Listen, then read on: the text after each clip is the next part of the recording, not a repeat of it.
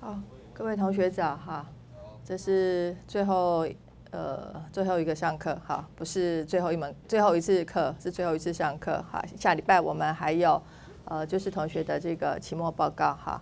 那今天基本上我想谈两个主题哈，一个就是课本的电子商务的部分。那课本用的标题是用 social media 哈，社群媒体的这样的一个概念来谈。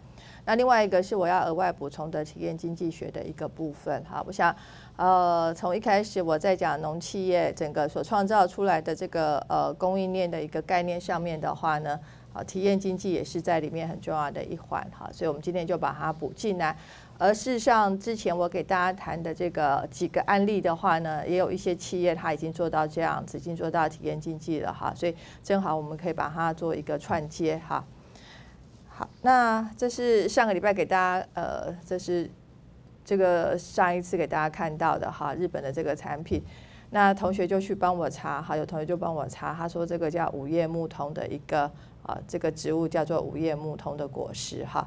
那他说，在中国的话呢，主要都是当做药材来使用哈。可是日本的这个三行县的话呢，他们就开始种这样的一个产品，然后也发展相关的一个饮食文化哈。那呃，我想呃，非常感谢这个同学提供的一个资讯呢哈。那我们可以看看到日本他们在推广农产品上面的一个用心，也就是说。当他推一个农产品的时候，他会把他的相关的哈，我们讲的其他的呃比较所谓的这个 subway 的那个部分哈，比较属于软性的一个部分的把它带进来哈，所以不是说只是告诉你说这东西怎么吃怎么吃哈，也就是说。当然，呃，告诉你的很很重要的，就是说它吃起来口感怎么样啊，味道怎么样啊，应该怎么烹调之类的。它其实可以再把它的这个饮食文化的话呢，把它相关的，也就是说，你可以再去呃找这做东西从什么时候就开始啊引到日本里面来种，引到日本来种植，然后在什么地方或者在哪个朝代的话呢，他们曾经怎么样的一个使用哈，比如说溏心蛋哈。呃，在这个江浙菜里面很有名的溏心蛋，然后他就会告诉你哦，这是这个呃慈禧太后当时逃难的时候呢，那个厨子煮给他吃的，他觉得非常的好吃哈，所以这个蛋呢就这样子流出来。呃，可能是因为火候不够哈，那个柴火不够煮，没有办法把蛋煮熟，所以蛋煮的半生半熟哈，可是反而显得它更好吃。所以把一些典故把它放进来的时候。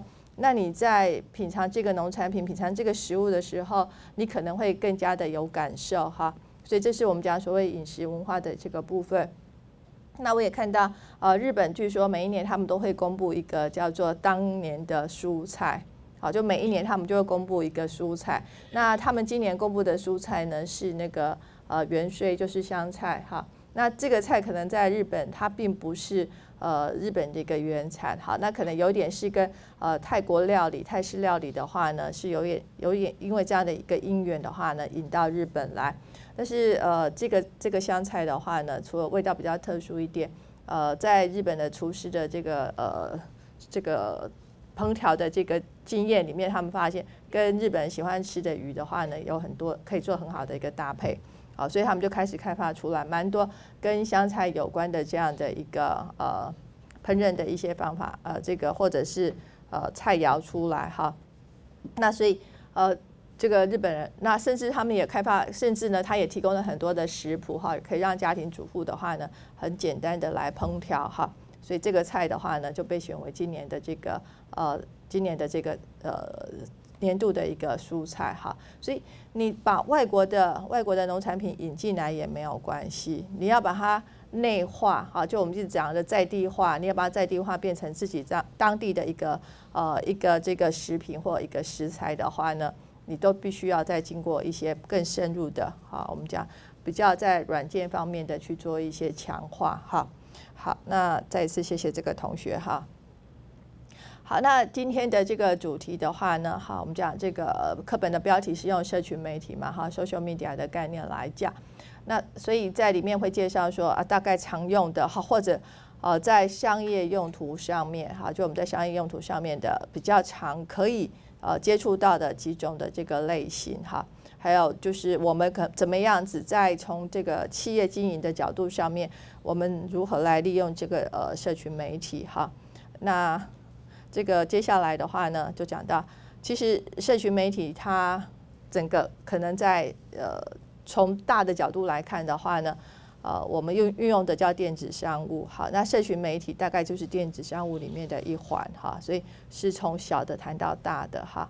那第二两个部分，最后两个部分的话呢，那我就谈这个体验经济学哈，然后我们再从体验经济学把它拉出来，我们把它扩得更大，我们讲农业观光的一个部分哈，我们就聚焦啊观光里面能跟农业相关的一个部分，是在今天的这个呃四个主要的大项。好，那社群媒体呢，基本上哈就是在网络上可以互动哈这样子的一个。这样的一个媒介哈，media 它本来就是一个媒介的一个概这样的一个概念哈，所以在网络上呢，可以让大家啊，这个网络的使用者可以产生互动的这一些媒介的话呢，当然我们都可以把它称为这个社群媒体哈。那它的一个重要性是什么哈？呃，这里有一个名词哈，叫 digital native 哈，或者这个千禧年世代哈。呃，课本的定义是一九八零年后代出一九八零年。以后出生的哈，都大概都归在这一类哈。也就是说，这一群人他们生长的一个过程，从小他们就开始接受数位的产品，好，所以呃，数位产品对他们来讲一点都不陌生。那所以一九八零年以前出生的这些人，可能相对啊会去害怕接受数位产品哈。呃，那另外这个社群媒体下面这个表大家可以看到，好，这课本课本的四百零五页哈。这是去做了问卷调查啊，就是说这个呃 business 的话呢，这个企业社群媒体对他们有哪一些重要性哈？那标示出来的这些重要性，那呃为什么特别讲这个 hashtag 这个？你大概都会用到吧？就是一个井号加一个标题。啊，你就是比较，就像你在 IG 里面的话，你要去收集什么样相关的议题或者照片，是不是？你就打上这个，打上这个主题标签的话呢，它就很快的就可以聚集出来哈。所以有这样的一个功能的话呢，搭配我们在所谓的网络上面哈，企业要去做它的产品的一个推播的时候，哎，就是一个很有用的一个工具哈。那所以我们看一看下面呢，这个社群媒体对企业有什么影响？百分之九十二的受访者，他们说，哎，对他们去把它增加它的这个什么企业的一个曝光哈，exposure，就是让它不管是你的企业名称，不管你的产品的一个呃，让它让大家都知道，让呃可以在这个呃在媒体上面哈，让更多人看到的话呢，我们叫 exposure 嘛哈，这个重要性的话呢，大概有九十二 percent 哈，或者。受访者里面百分之九十二认为这个是很重要的一个很重要的一个影响哈。再来，当然增加 traffic，也就是说流量哈，增加的流量，因为你可能看到了，这是当然是有连相关性的哈。看到呢，看到你的产品，看到你的公司的话，当然就会带到更多的呃浏览者到你的网站，到你的甚至到你的实体店面来哈。那接下来的，你看到可以创造出你的忠实粉丝出来，是不是？啊，或者他不买你的产品，但是每一次呢，都会帮你把你的这个相关的资讯呢，帮他推出去啊啊。接下来的是什么？好，那当然你有这些忠实粉丝，你有这些浏览人的这些资料。我们之前讲过的所谓 big data 的这样的一个概念，当然你在分析，你的分析，你这个呃，到你的这个网站上面来，到你的实体店面，你对你的消费者。啊，他们的一个整个资料的话呢，分布的情况，你当然可以有更深入的一个了解哈。那你也可以创造了这个引导的一个风潮。最重要，呃，你可以改善，因为社群媒体的话呢，这边或许会比较聚焦哈。从后面这几项看来的话呢，会比较聚焦的是在你的呃这个电子商务的一个部分哈，比如说。你你可以利用社群媒体，让你的曝光比较高，让你的曝光度增加，然后增加流量，然后增加你的忠实粉丝的时候，可能你的搜你在呃在 Google 搜寻的时候，你的排顺位排的话呢，就会排在比较前面。好，每次你去 Google 这个呃特殊的关键字的时候，你出现的呃那个那个 rank 的话呢，就会在比较前面哈。所以这是社群媒体的一个运用哈。那但这个地方大家可以看到，当然这里不牵涉到说你怎么样运用社群媒体，而是说社群媒体本身就可以增加你的这个啊企业的一个曝光哈。那也就是说，你是一个呃不知名的一个店，不知名的一个产品的话，人家都找不到你，怎么可能带动说啊你的产品的一个销售哈？所以啊，社群媒体就是说先知道你。先认识你，这应该才是你要卖出你第一个产品的一个机会哈。所以这是社群媒体最重要的是让你先打知名度啊，先让你曝光哈。那这些社社群媒体有哪一些呢？哈，好，我们大概分为这几类了。哈，课本大概分为这四大类。哈，第一个就是部落格的一个部分。哈，那当然这个部落格也包括在你自己网站上面去做的部落格。哈，或者是专门是部落格的这样的一个网站上面。但是因为我们就企业来讲的话，就是你的呃企业的网站上面的话呢，你可能都会去一直不断的。啊，去介绍你相关的一个产品哈，那或者是这个产品相关的知识，或像刚刚我们看的这个呃五叶木通国的这个产品的话呢，哦，这个三行县政府它一定会有一个专属的一个网页，然后它一直不断的找人去写。如果说你要讲它饮食文化，一直要不断的去讲，好，这个东西从什么地方来，然后它的这个啊它的营养价值有什么，可以怎么样烹调，那曾经怎么样烹调，或者啊相关的一些故事哈，这就是在部落格里面可以呈现的。那这个 E T S Y 的这个是一个网站哈，它基本上呢，它是呃，它的这个公司是坐落在纽约哈，那它主要是以手工啊手工的这个工艺品呢为主销售这样的产品的这样的一个网站哈。那这个网站上面当然它也有很强的一个部落格，他会请很多的工艺师来介绍，好，他介绍工艺师或者请工艺师的话呢，来介绍这个手工艺的产品哈，就是每一个每一个手工艺的话，呃。以人工来人工来做成的一个产品的话，每一个工匠它本身就代表了一个特性啊。其实，呃，这个工匠他本身就是一个品牌嘛，因为他自己自创造他的产品的时候，创造他的一个作品，他一定有把他自己的创作的理念带进来，一定有加上他的个人风格。好，所以有这个网站的话呢，它可以有很大，他就。建立的一个平台，让这些工艺家的话呢，好，他们自己可以去在这上面来写他自己，好，去去说他自己的这个创作的一个理念是什么哈。所以这个这家公司它的一个网站，课本拿它来当做例子，就告诉大家说，或许我的平台上面，我不是在卖某一个产，我不是光是在卖这个手工艺品而已。那在卖这个手工艺品背后，我要花更多的时间去讲什么？这个手工。这个工艺品它背后创造的创作的一个过程，好，所以呃，为什么部落格会是在这个网站里面很重要的一部分？所以它不是泼了很多照片说哦，这个 A 作品是谁做的，B 作品是谁做的，不是这样子而已，而是你要更深入去谈什么，让这个每一个创作人他都有足够的空间去讲，那我为什么要创作这个产品？那这个产品的话呢，你拿到这个产品，你应该怎么样去欣赏它？哈，所以这个。你在这个社群媒体上面的一个使用，第一个就是让你可以很深入的去介绍这个你想要去推荐的产品，甚至为什么我要建立这样的一个网站？当时建立这个网站做这样的一个平台的人，他最开最开始的一个初衷，都可以是一个很好的一个故事。哈，这是呃我们讲的第一个类型哈。那第二个类型的话呢，那我们就是可以呃，这个网站上面呢可以播照片哈，会播影片好，或者这个叫播客哈，podcast 哈，这个前面这个 pod 的话是 ipad 的概念好，那后面 cast 是广播哈，broadcast 的概念就把两个串在一起哈，所以它原来啊原来是因为呃配合 ipad 的一个产生哈，所以在上面做啊类似像。电视节目啊，广播节目啊，让大家可以透过 iPad 呢去下载，然后可以来呃看你在什么时候你想要去听，你想要去看都可以这样子哈。所以透过照片、影片的这样子的一个分享哈，就可以来又达到我们刚刚讲的，你让你的企业来曝光的这样的一个目的哈，用这样分享，所以。这个分享有可能是从企业开始，好，你开始去分享，在你的不管你在你在 YouTube 上面有一个专属的一个频道，去放你自己的产品，好，然后你也可以在诱导你的消费者，把他们怎么样使用你这个产品的话呢，把它播上来，哈，在你的自己网站上面来播来做分享。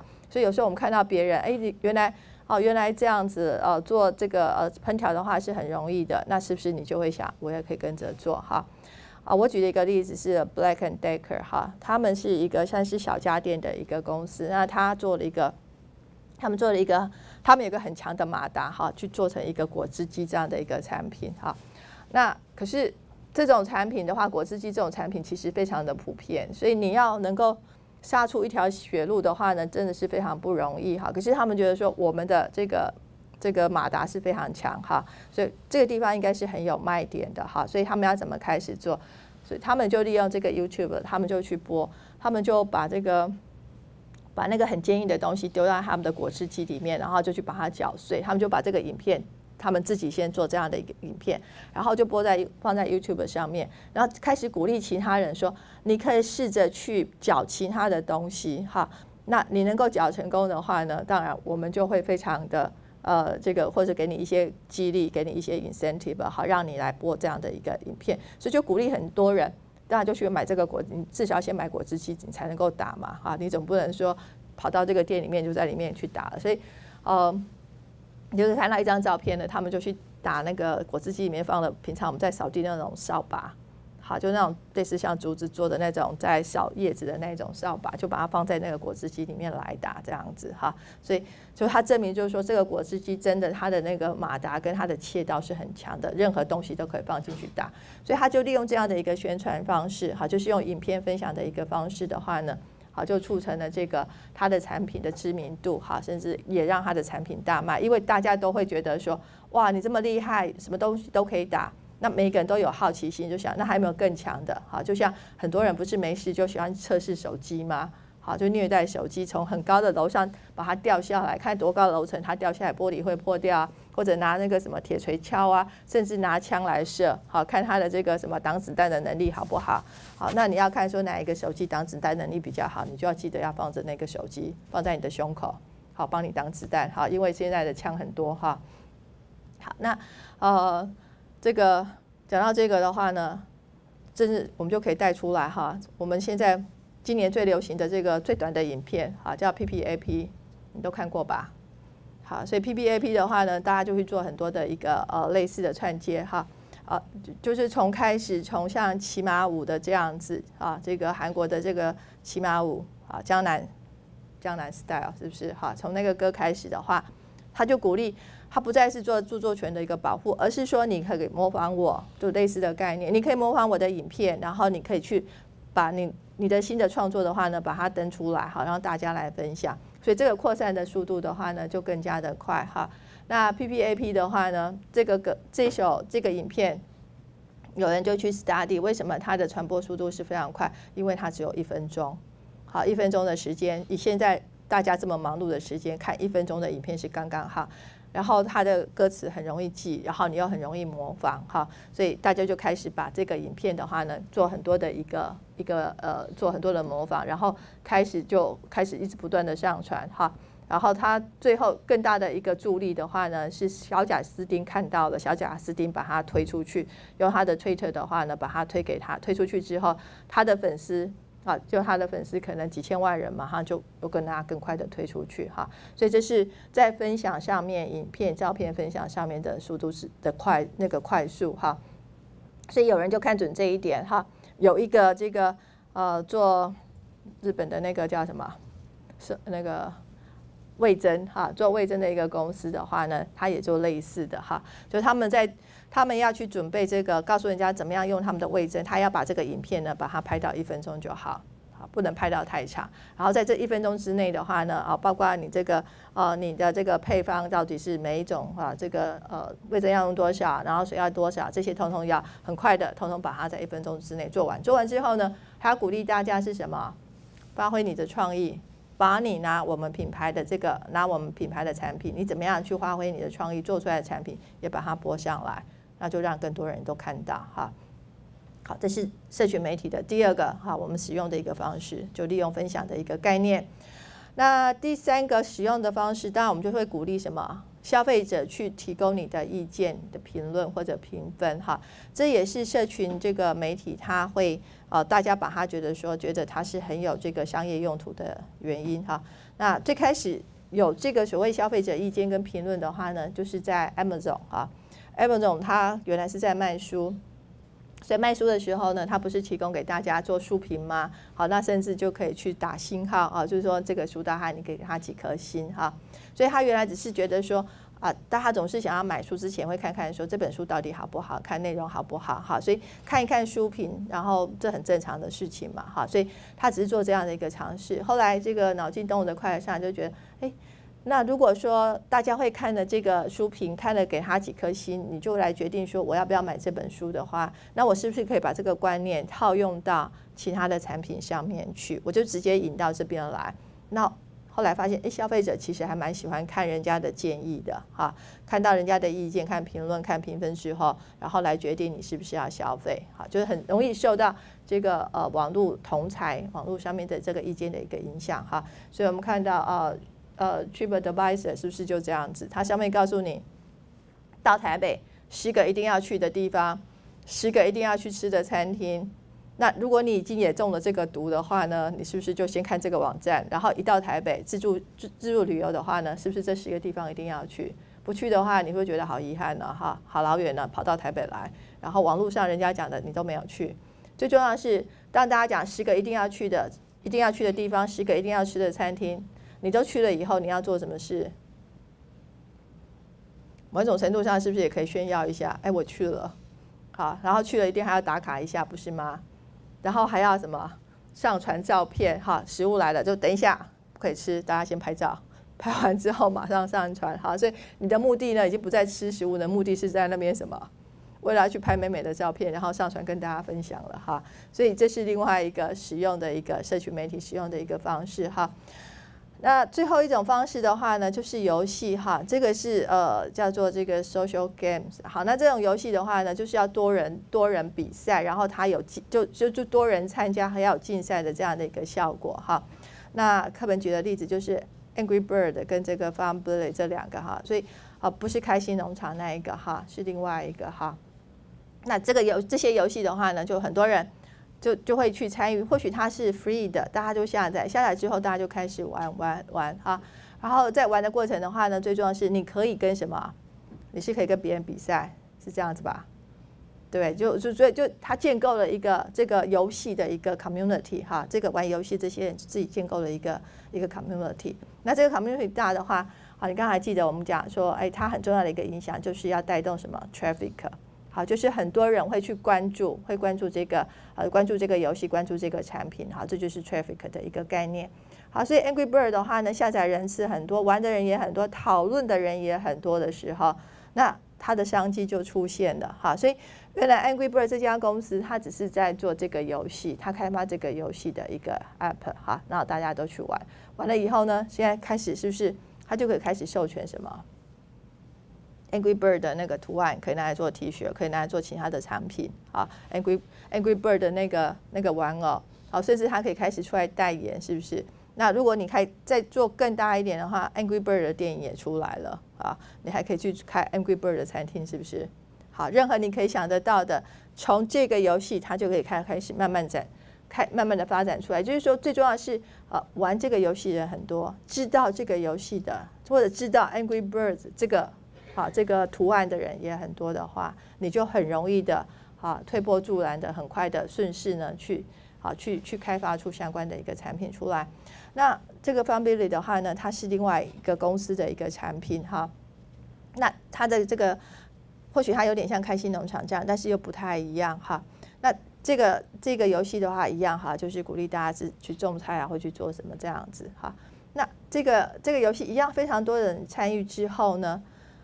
重点，重点变成是这家公司会变成是被委托的对象，哈，其他公司其他的产品，好，就是说如果说我有我开发这个游戏出来的话，那我可不可以利用你的这个呃这个农场，哈，你你这个这个农场的这个游戏的话呢，把我的产品呢植进去。好，在玩游戏的人的话呢，就会在这个游戏里面，然后看到麦当劳的出现，好，看到 Burger King 的出现这样子，好，所以是在游戏里面植入这样，变成是说我委托这家公司来帮我做做我的广告，所以这家公司原来做游戏的这家公司，现在变成是多元发展，它也可以变成是一个广告的行销公司啊。只是就公司它本身，它可以发发展出这样的一个企业这样的一个呃商业模式出来。当然，后来它可能就会变成是。特别为了某一些公司的委托，他去开发新的游戏出来，好配合这些其他这些其他特定公司的一个产品啊，去做其他的其他的这个特别的游戏出来哈。所以这是呃四个好，我们介绍，或许还有其他的一个模式，但是这四个大概就是我们平常最常见到的哈。好，那这些社群媒体的话呢，好不管。你说，呃，你把它做成游戏，你把它变成是有这个呃部落格的这样的一个功能，或者你就是只是很简单的做照片啊、影片的这样的一个分享，做这些的一个目的。好，那如何透过这一些基本的一个使用来创造我们的商业收益？好，我们讲商业商业用途的话呢，这这里面包括商业活动，包括所谓的这个呃。这个所谓的商业商业模式，你的 business model 呢，都应该在这里面来出现哈。那我们介绍的几个你可以用的哈，在我们的商业活动里面可以用的，譬如说你建建立这个呃网络社群哈，我们讲一个 p r o m 的这样的一个概念哈，像 Mobile One 它就是一个。它其实是一个第三方的一个论坛，哈。可是你要买相关的三 C 产品，你是不是很自然的你就到那个论坛去，你就到那个论坛去看，好。所以把这个概念的话呢，引到你自家的一个网到，把它引用到你自家的这个网站上面，你是不是也可以去开一个论坛，在你网站上面，好，你就可以去做一个论坛这样子，哈。那 Wiki 的话呢，这是大家共同去集体做的这个什么维基百科，哈，就是去去做这个呃。你不用额外花钱去买非常昂贵的大英百科全书哈，你大家集体来创作哈。但或许它的这个正确性的话呢，是要面受面对接受挑战的哈。可是这是集合这个群众的一个力网网络上群众的一个力量来做的哈。所以这两个的话呢，就是网络社群的一个概念。那原来都是属于这个第三方在做，那你可以把它接受到什么？你自己的企业网站里面来进行哈，所以你企业网站里面可以有一个专门的一个论坛，做跟你产品相关的这样的啊，做这样子的一个好自己建立这样的一个论坛，那它会变成是跟我们下面看到的产品创新那个地方做一个连接。我自己有一个这样的一个论坛，我就可以去接受啊这个消费者他们在这个网站在这个论坛上面去提供呢我产品创新的这样的一个建议哈。好，那 Kiwi 的话呢？它就有点综合的前面这个网络社群的一个概念哈，它是一个微型贷款的一个网站哈，因为它聚集了很多的，它有很多的这个网络的一个使用者，好，所以透过这个网站的话呢，他们就可以进行。网络上使用者的微型借贷的这样的一个关系哈，前面我们跟同学介绍过所谓的这个 peers lending 的这样的一个概念哈，同才之间借贷的这样子的一个网站。那这个 Kiwi 的话呢，又比那个规模又更再小一点哈，就是网络上面他们自己去媒合，透过这个网站的话呢，自己去媒合这个微型的一个贷款哈。那第二个我们可以讲到，你利用的是所谓的危机管理了哈，呃。通常这个危机危机管理呢，包括这个管理的过程是从危机还没有发生之前，你是不是侦测到了？危机正在发生中，你可不可以把它的伤害性降低？危机发生了，你可不可以让它很快的止血？哈，就是它不会让它继续的去扩散。哈，这危机管理应该有这三个三个阶段性。哈，那。最好你是让它不要发生，在它已经有征兆出来的时候，你就赶快把它处理掉，就不会到后面你还要接着去处理哈。所以，当它还没有发生之前，有没有征兆告诉你？也就是在网络上面开始很多人在讲你的产品不太好，开始在说你的东西怎么样，开始说你们公司开始在讲这些话的时候，网民的这些意见，你有没有注意到？好。是不是？我想最近几次的选举，大家都大概知道吧？网络的这个好网民的意见，事实上是蛮重要的一部分。好，它不会透过正常的，不是在正常的这种民调公司的电话访问里面呈现，而是他们呈现在这个网站的这个呃讨论上面，就在那边可以出现了他们的一个意见的哈。所以危机管理在你还没有发生之前。好，在发生之中，好，甚至发生之后，网络上这些网民的一个意见，事实上是蛮好的一个参考的一个资讯，好，所以，呃，不见得他们在你的网页上留言，而是在其他的公共的这些网站上面来发表的话呢，你是不是都有特别去，好，特别去留意这个这个意见，哈，呃，台北市长的选举不是最热衷的吗？然后有一个人说他要出来，他要他要出来选台北市长，但是他有三个阶段，其中一个阶段他说，如果他的呃他的粉丝团呢可以到超过一百万以上的话呢，他就要宣布出来竞选台北市长。好啊，为什么要超过一百万这个门槛？他说全台湾的政治人物只有四个人呢，他的粉丝呢是超过一百万的。好，其中柯 P 呢有一百五十万。好，所以如果你要跟柯 P 来选，柯 P 已经说他要竞选连任了，所以你要跟他选，你一定要什么？至少你要超过，呃，一百万应该还算是差不多吧。好，如果如果你没有跟他一样的话，你大概知名度啊或者你的支持率都是不够的哈。这网民的一个意见，在。呃，利害人、利害关系人，好，我们讲 stakeholder 的个部分，包括你的供应商，包括你的消费者，包括你的员工，包括啊你所在的这个社群、这个社、这个 society 的话呢，都是我们讲利害关系人。你的投资人，这个都是你的利害关系人。那这些人的话呢，他们有没有一些想法？有没有一些意见？哈，那你如何去听得到他们的声音？刚有些前面讲的危机管理那面网民的那个部分的话，不见得都是呃，不见得都是你的消费者，好，可能有一些是其他 society 的一个部分。那你更聚焦的，你内部员工呢？内部员工有没有意见？好，这就是利害关系人部分。你有没有听到你内部员工的那个意见的一个部分？好，那怎么样透透过你内部的一个网站的话呢，去倾听你自己员工内内在的意见？那另外的话呢，我们讲可以锁定你的目标客群，好，这个。会经常会关注你的产品的是哪些人？这是我们在讲顾客关系管理里面哈。好，有一些顾客的话呢，他会经常来买你的东西的。好，这是很好的顾客，会创造收益的。有些顾客呢，可能偶尔来买一下，但是他对你产品还是蛮忠实的。哈，他虽然不常来买，但是他还是基本上对你的这个产品还是保持正面的一个观感。但是有些消费者的话呢？他是你的对手产品的支持者，对你的话呢，可能有某一方面的一个敌意哈。所以，你如果更要扩展你的市场的话呢，除了顾好你原来的这些始终的粉丝、这些消费者之外，然后积极的去开发这些不是很、不是很积极的哈，不是很经常性的来消费的客客群之外，那对你有敌意的消费者，有没有办法把它转过来呢？不是敌人就要变朋友嘛，对不对？好啊，但是朋友。这个不是朋友就是敌人，这个是很确定的哈。但是能不能把敌人变朋友呢？这是很困难的。好，可是有没有机会？不一定啊。哈，所以怎么样去针对你的目标客群？哈，那再来的话是特别在形象方面，我们刚刚其实举举了蛮多例子哈。当你可以把你的产品把它推播出去的时候，透过社群媒体推播出去。某一种程度就是在做行销哈，所以过去我们讲行销的话呢，没有这些社群媒体的时候，大概都是什么？我们说其实是蛮被动的，对不对？哈，就在电视上播，然后消费者就毫无选择的就看着电视的一个广告。可是现在呢，很多的广告是在网络上，哎。这个消费者呢，自己去看的，自己去看到的，那就因为你会去搜寻，然后你就看到这个广告，看到产品的广告，你就心动，你就要去买哈。所以我们讲这叫 inbound marketing 哈，所以是从消费者这一端的话呢，去找去找这个呃找这个企业的话呢，倒过来了哈，就它不再是被动，而是很主动的去找广告哈。那另外一个方式，我们叫做 bus marketing 哈，或者 buyers 的这个 marketing 哈。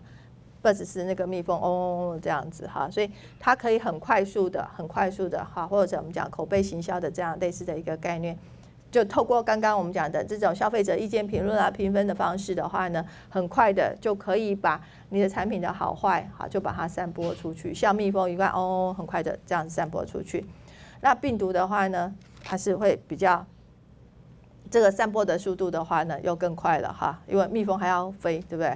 病毒的话呢，飞沫接触一下就就碰到了哈，空气接触就碰到了哈，所以它是更快的、更快的一个速度，就是它可能就是在传播很快，就像我们刚刚讲，可能是照片在传播或者网络在传播这样子，一下子马上就会传到推播，像 Twitter 这样很快的就推出去，这个粉丝呢可能就是多少几千万个粉丝马上就看到了哈。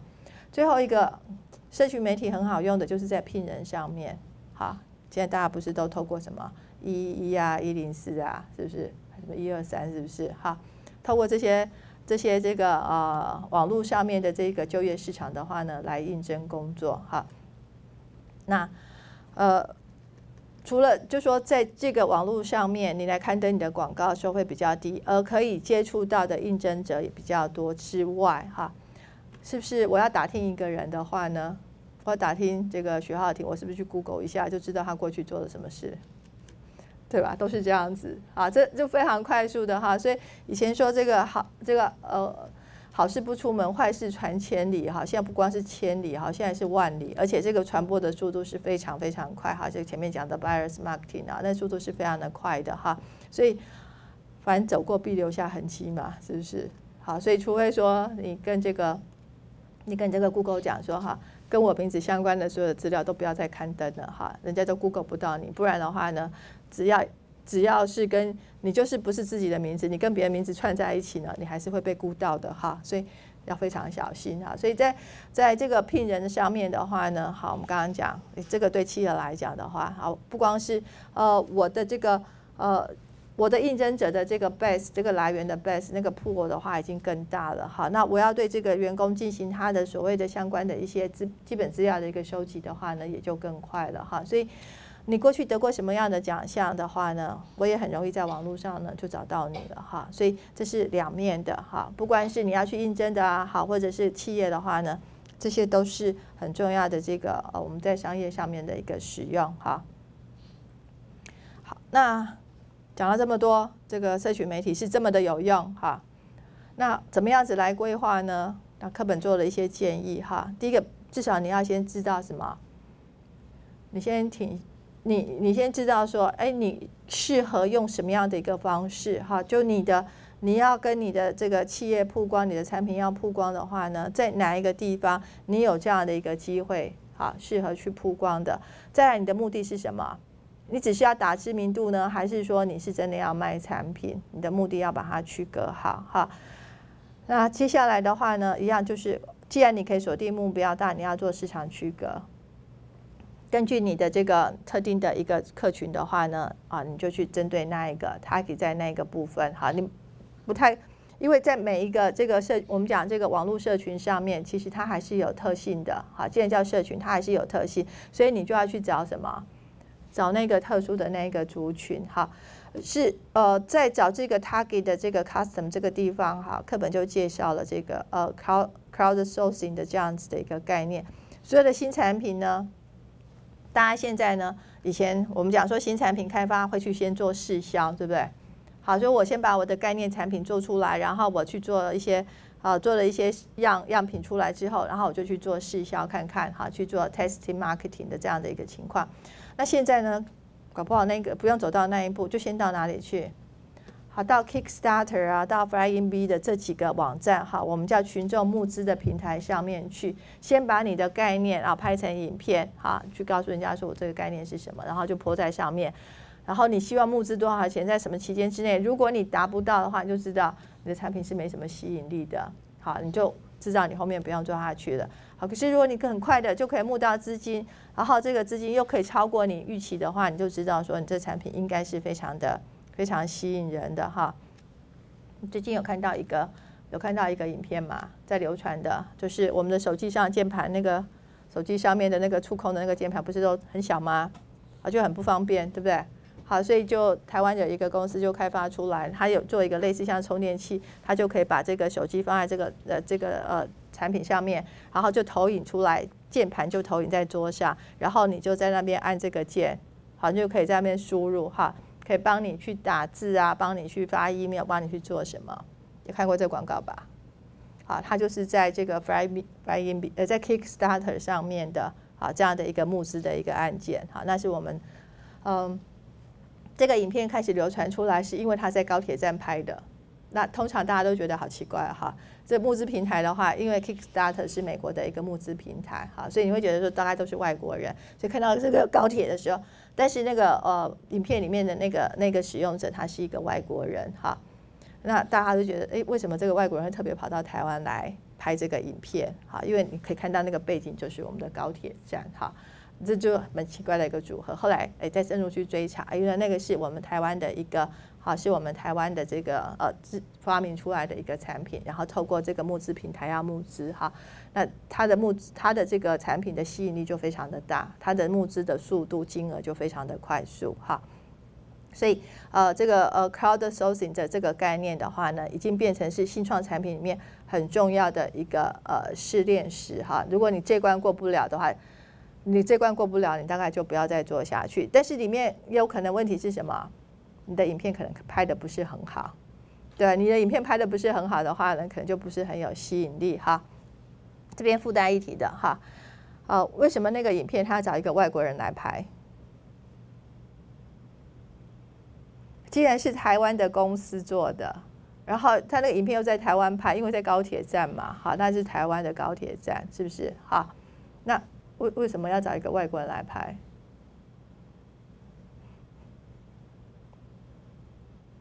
你有没有想过这样的一个问题？有，就有人说，哎，好，我们好媚外哦，是不是？找外国人来拍就比较有质感吗？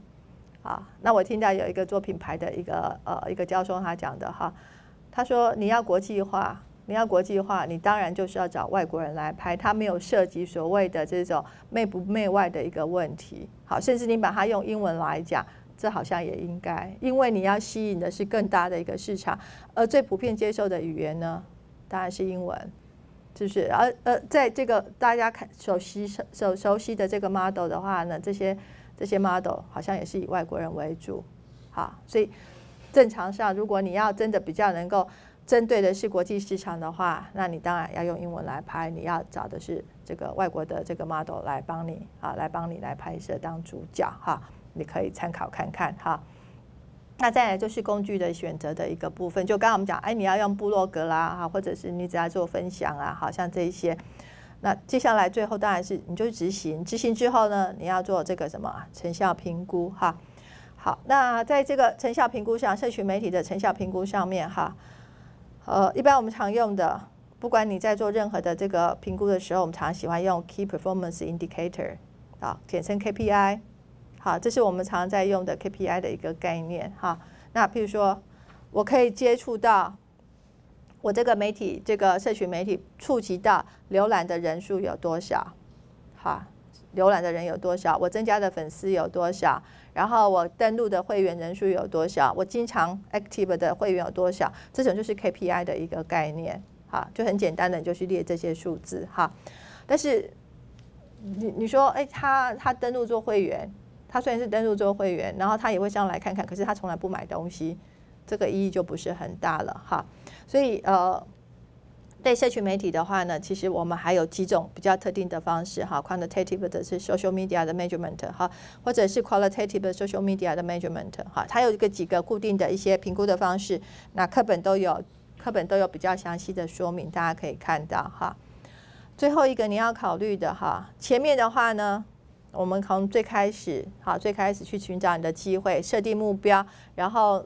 针对你的目标客群来做选择适当的工具执行，然后评估成效，这都是一串的所谓管理的一个周一个这个过程的一个运用哈。那这里面你还要考虑的，你有没有办法维持下去？社群媒体前面讲啊，它可以帮你去去让你的产品去曝光，让你的企业去曝光，可以帮你帮你做很好的这个顾客啊这个。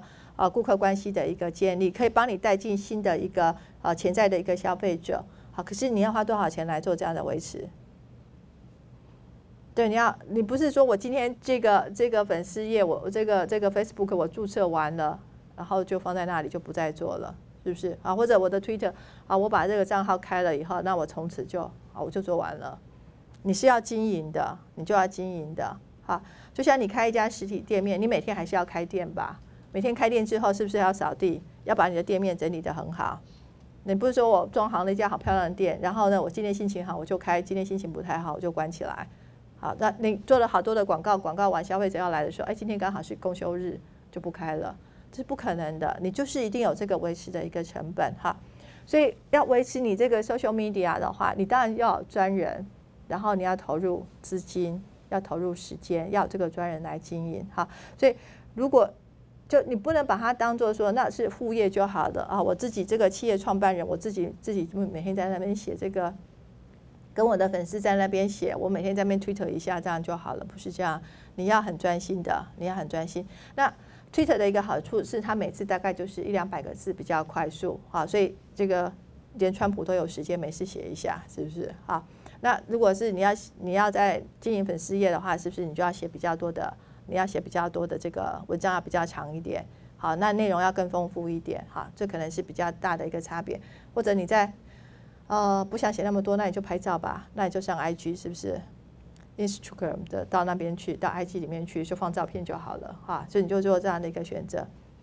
但不管怎么样，它就是要经营，它就是跟你的实体店一样，你就是要去经营它。好，这个是呃如何去。刚刚我们讲的哈，去 target 你的 custom 的一个一个部这个部分的一个资料的一个补充哈，然后这个就是我们刚刚讲的哈，所谓的那个 quantitative 或者是 qualitative 的这个 measurement 哈，这些本身这四种的这个呃这举的这几个社群媒体的话，他们自己本身就可以提供给你好，提供给你这样的一个资讯好，你就可以去参考哈。OK，好，那呃，电子商务的部分呢？电子商务依赖的是网际网络嘛？好，然后先网先呃，先有网际网络的硬体，然后要相关的就是那个网页上文字的一个建立哈。就就那些那些文字的那个共同共同性的那个那些部分建立，还有它可以在传输的，除了文字之后，还有图片，还有影像这些等等这些功能建立之后的话呢，才开始架构上面我们有所谓的电子商务的一个出现哈。那这个网际网络呢，它有哪一些优点？好，应该说网际网络其实就是高就是一条高速公路了哈。那传统的这个实体店面的话呢？它或者就是一个好，这个我们讲的好，它可能是乡这个县道哈。那网际网络的话呢，它可能是一个高速公路哈。或者就火车来讲的话呢，啊，实体店面它可能只是一个区间车哈。可是呃，网际网络呢，它可能就是一个高速铁路了哈。甚至它已经快要进步到那个呃磁浮列车的这样子的一个啊这样的一个状态了哈。那这个网络呢，它当然不会打烊，那你可以。透过影片、透过影像，让产品更加的具体化哈。网络呢，无远佛界，是不是？你今天可以做生意做到什么天涯海角去哈？以后外星人到，以后有外太空的时候，就是有这个 space station 的时候，不知道可不可以一样卖到外太空去哈？然后你的可以互动，可以及时的互动哈。当然成本是很低，相对来讲了哈。你在宣传有很多是免费的一个宣传，但是不要忘记了哈。你在维持上面，刚刚维持成本，事实上是一个我们常常被我们忽略的一个成本哈。好，所以利用这个网际网络来架构你的商业模式，那我们就叫电子商务哈，electronic business 哈，我们简称 e business 哈，或者把它叫 e commerce 哈。commerce 比较强调的是在买卖这个部分哈，在交易的这个部分。那你说 business 的话呢，就会把其他的。好，其他的这个企业里面所有的这个呃商业活动都把它带进来，好，包括你企业的整个这个呃电子化、讲医化这样子，通都算在里面，好，所以 e business 是一个比较大的一个范围，e commerce 的话呢，它会比较聚焦说只是在买卖而已，哈，所以说它是在 e business 里面的一个比较小的一个部分，它有时候我们会是把它混用，哈，因为你看我们中文换电子商务，哦，商务的话呢，当然就是 commerce 的概念了，哈，可是啊。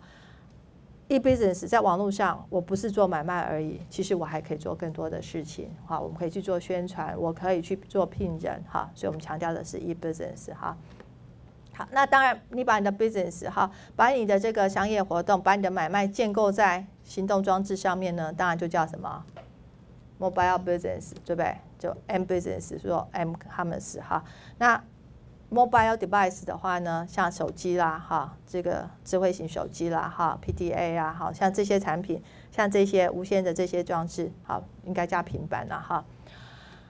这些这些产品的话呢，其实当然它还是透过网际网络上面来进行哈，可是它还比传统的电子商务，就传统的电子商务，你可能要的是一个大电脑。好一个 notebook 这样子来进行。可是 mobile 的话呢，既然它叫行动，就说你不见得要带着这个桌上型的电脑，这样桌上它就要固定，它比较大。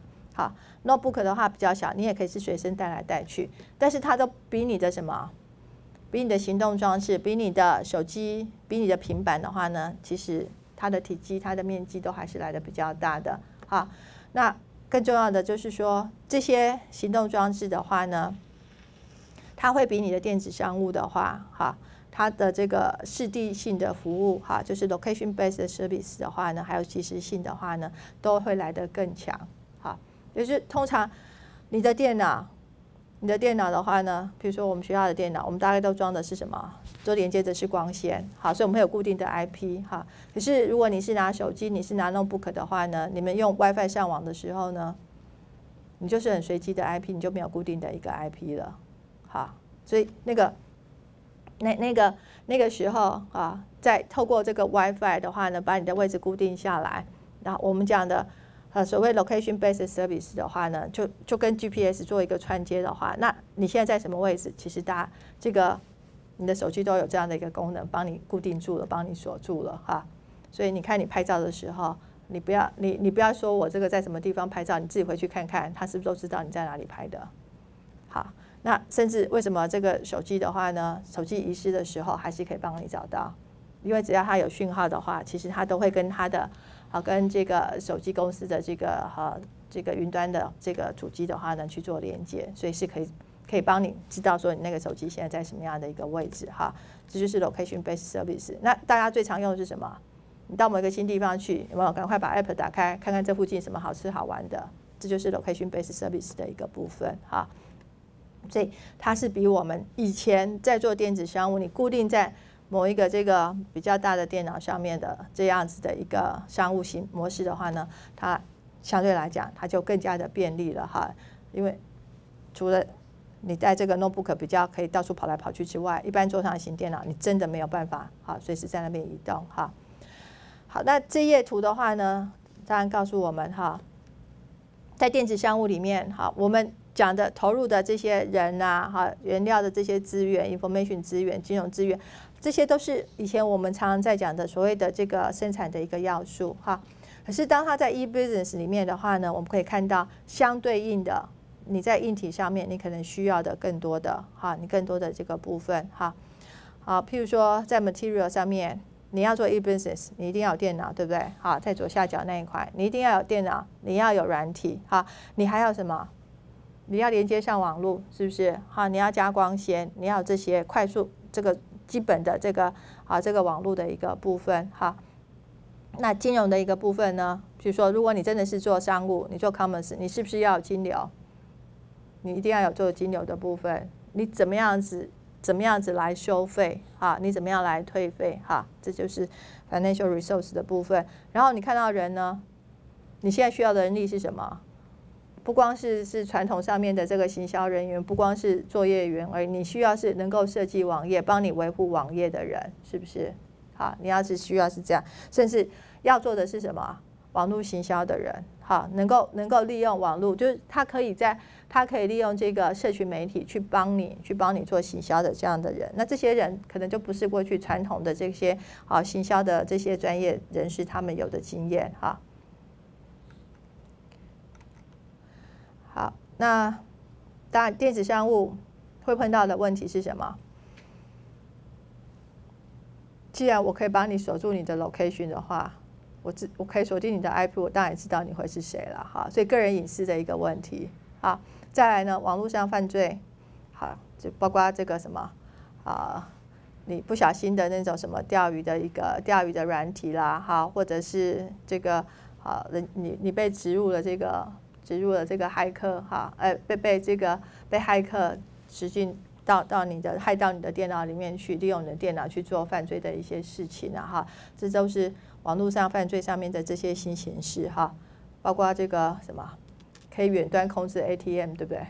好，那个钱就会这样一直掉出来的哈，像这些都是新形态的网络犯罪的一些模式哈，那这都是在电子商务里面你要去防范的哈，呃。当然，电子商务你标价标错的时候，我们喜欢在网络上面用这个折扣的方式啊，在网络上面你只要标价一标错呢，就会很多人蜂拥而上，就开始来抢购。那你到底要不要承担这个责任？如果你自己在实体店的话标错，那也可能只是某些人来。好，可是在网络上一下就涌进很多人，那这个损失就很大。那你要不要承担这个责任？这是一个我们经常会，好，我们经常看到的。站在消费者端，哎，是你自己讲的这个价钱，那我当然就是进来买。好，那可是站在销售端的话呢，这么多人进来，其实你都知道我是标错的，不是吗？你一定知道，你一定比过这个价钱之后，知道我的价钱特殊的便宜，然后你还可，你还在这么在这么短的时间赶快抢进来采购，某种心态上，你是不是也是占这个？啊，卖方的一个便宜，你知道他确实知道他确实是标错了。好，那所以到底怎么样才叫是一个公平？好，这也是啊电子商务里面我们常常碰到的哈。好，那未来的趋势是什么？好，课本讲的是云端运算。哈，这当然这就我们刚刚讲，哎，为什么你的智慧你的这个智慧智慧手机的话呢，它可以知道你在哪里？好，它都可以知道你在什么地方。因为所有的资讯，其实它都都是跟你的什么这个呃手机的这个制造商的这个云端的这个电脑的话，其实是相连接的哈。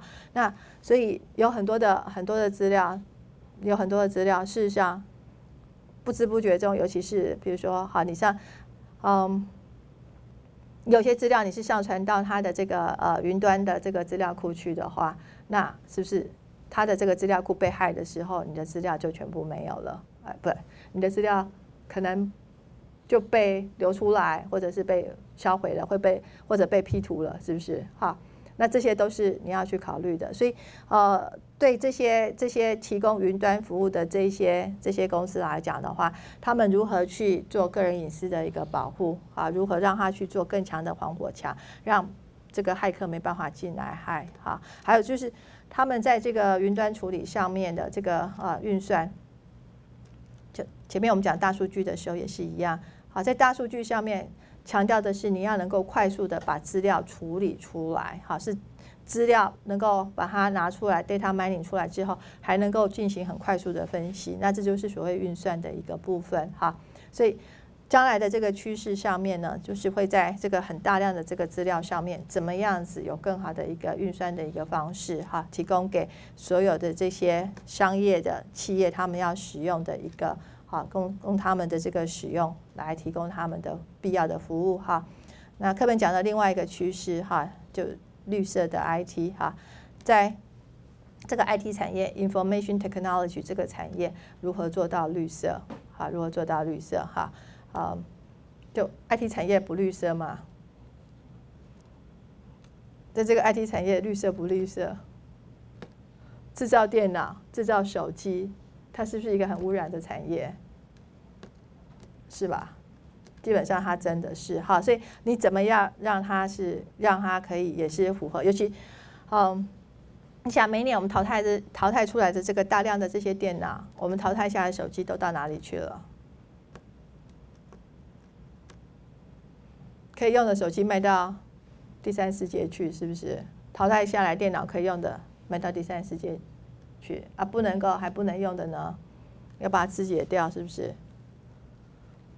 那肢解的一个过程，是不是还是有些东西是没办法重复使用的？可以重复使用的把它拿下来，不能够重复使用的呢？它是不是又制作一个另外一个乐色山？哈，所以怎么样去去把你的这个？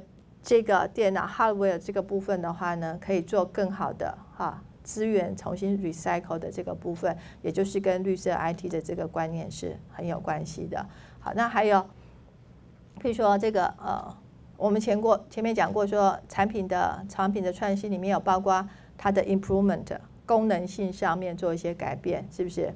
好，让它更省电，啊，让这个譬如说让我们的 MB 更加省电。那充电的这个时间不要那么多啊，那更加省电这个部分，某一种程度上，它其实也是一个绿色的部分。好，那那其实包括我们用的这个铝电池的话呢，它不用的时候，哈，铝电池本身应该怎么样子再去再去做这个 recycle 的一个部分啊？就每一个手机、电脑上面、notebook 上面，其实都是用到都是用到锂电池哈。所以怎么样子让它可以有更好的、更好的一个回收过程，啊，都跟我们的 Green IT 是有关系的。那嗯，大家可以知道，哈，像苹果公司的话呢，它跟它的，它为了要去做它所谓的这个呃企业社会责任的一个部分，它开始会对它的下对它的供应商呢去做一些要求，哈，包括说在制造过程，他希望他用的是使用的是呃再生能源，好，不要再去用这个。啊，用这个呃，fossil 呃，fossil fuel 哈，就是用这个石油哈去发电哈，去用燃煤去发电的这样子的这个用这样的能源哈，他希望的是再生能源。好，所以红海在大陆的厂呢，他就要去做什么？比较多的太阳能板的，用太阳能来发电，用这样的一个概念哈，所以同样的，苹果已经把这个概念的话呢，开始去要求它的供应商，除了红海之外，其他的好，包括国内的，比如说像台积电。因为它是很重要的啊晶圆的一个供应厂商，那它也会要求说，那你台积电生产的晶圆是不是一样要能够走到这个啊再生能源的这样的一个部分？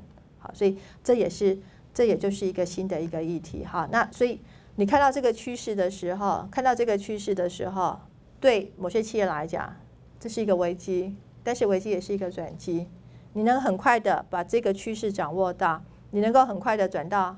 绿色供应链上面的话呢，那是不是你就可以把这个危机的话呢，当做一个转机，你就顺利的在做升级的一个动作。好，那当你在做这个转，在做这个转变的时候，对产业来讲，产业也是一个升级。当然，它又开创了什么更多的就业机会出来。好，所以啊，为什么包括新政府他会讲说啊，我们的新兴产业里面有所谓的循环经济，有所谓的这个再生能源的这些产业，我们要去做发展。因为这些都可以再创造出新的一个新的一个企业出来，哈。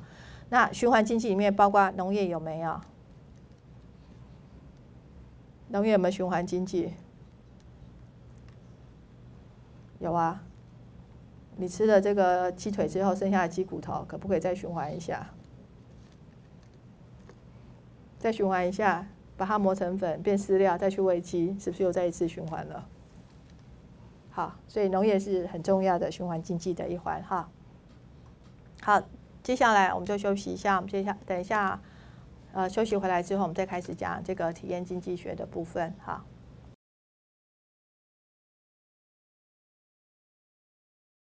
好，那体验经济学的话呢，一般我们大概都会用拍呃 Gilmore 的这这个这本书哈。The Experience Economy，哈，这是 Harvard 的这个出版社哈出的这本书，在一九九九年哈，已经蛮久了哈。可是，呃，体验经济学的概念，事实上应该说一直都是存在，只是他们两个是应该把它汇整起来，比较完整的去做论述哈。那下面有几张这个图表的话呢，大概都是从这本书出来的哈。那这本书也有中文翻译，但是呃。我建议大家还是可以看原文书哈。那他把这个经济，就说呃不同的经济体，它的主要的经济活动呢，大概把它分为这几个类型哈。就根据说呃从它提供的这个，就说它的经济功能啊，提供的产品的特性啊。买方卖方扮演的角色啦，哈，那这个呃影响需求的因素这些的话，就说你为什么会对这个产品有需求呢？用这样子来做区隔哈，所以他就把这个经济体的话呢，主要的经济活动分为它主要是 commodity，我们讲就是产品，就是农产品了哈，基本农产品。那 goods 的话呢，基本上就是比较加工，已经是制造出来的产品。service 是无形的啊，无形的一个产品。然后最后一个就是经验哈，experience。那所以可以看到哈，它所对应的，如果你卖农产品，当然你就是一个农业的一个经济体哈，就农业的一个社会。那工业所谓的这个 goods 的话是制造出来的哈，所以它就是一个工业的一个社会哈，一个制造业哈，工业为主。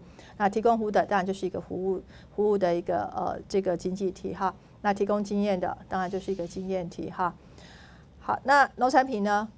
基本上从土地上生产，土地上长出来哈，所以还有 extract 啊，就我们直接是从土地上把这个我们需要的东西把它拿出来。可是产品工业产品呢是做出来的，好是 make 是做出来的哈。那服务呢，delivery 哈是要有接触的这样子，好要有接触是在接触的那个瞬间的话呢，提供产品的哈。那他说经验的话呢，是一个 stage，好是一个 stage，哎提供了一个舞台这样子，提供舞台给谁？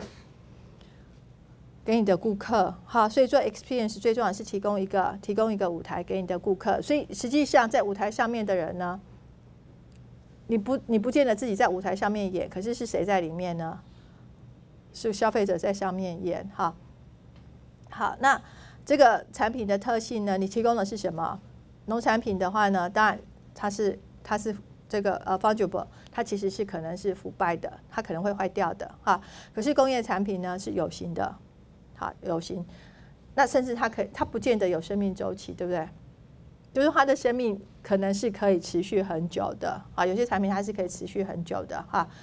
服务是看不到的，可是体体验是可以记忆的啊。其实它还是无形，但是呢，你会有事没事就拿起来想一想，对不对？体验就是这样子嘛。好，它是无，它是一个记忆哈。那农产品呢？就很自然，所以我们说它的差异性非常大。工业产品呢，标准化，因为是我们做出来的，是我们制造出来，是人制作出来的。原来在这个自然界是不存在的哈。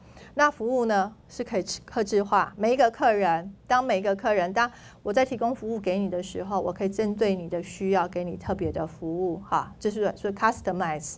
好，可是经验呢？好，我们讲它是很 personal，很个人的。好，很个人的，不是克制，是很个人。就是同样同样去这个舞台上面，你会记住的是什么？我们说寒天饮冰水，冷暖自知嘛。好，所以哦，我喝这一口水，我觉得好冰好冰。可是有些人你可能觉得还好嘛。好，所以那个经验，那个那个所谓的经验，其实每一个人是不一样。所以他说这是很 personal 的哈。那你可提供产品的时候呢？从你提供面来讲，你是提供你怎么样去提供？农产品基本上哈，它就是很大量的这个储存的农农产品哈。就就生产者来讲，你绝对不会只生产一点点。相对来讲啦，虽然我们讲说啊，你生产的规模很小，可是对一个消费者来讲，一个农民生产的量，是不是不是一个人一个人可以消费掉的？还是蛮多人消费掉的哈。那对工业产品呢？你生产完之后，它产量又更多了，它的产量又更多，好，所以生产完之后呢，它可能有很多是就是存货，好，就在工业工业制造上面，你生产的绝对比需要的可以来很可以增加非常非常的多，哈，那服务呢，只有在你要传递的时候那一刹那发生，好，所以没有同样的这个时间，我在提供服务，那我就有提供服务。同样这个时间我是 idol 的，我站在这里，我啥事都没做呢，我就是没有了，我就没有提供，我就没有提供哈。就是你看到你去餐厅吃饭的时候，哎，你请这个服务生来帮你倒个水，他就帮你过来倒个水。他没有的话，他就站在旁边。对老板来讲呢，你还是要付钱给他，所以他什么服务都没有做好。可是他就是在他那个他应该提供服务的时候，他就是他就是空白了哈。那经验呢？经验是更加抽象，对不对？好，那你只有每一个人呢？他说你可以记忆，好，那你的记忆是什么？除非你失智了，对不对？好，除非那个记忆你觉得好痛苦，好，你不想回想，不然的话呢，它是不是永远在你的脑海里？它永远就在你的脑海里，哈，就是在某些时候。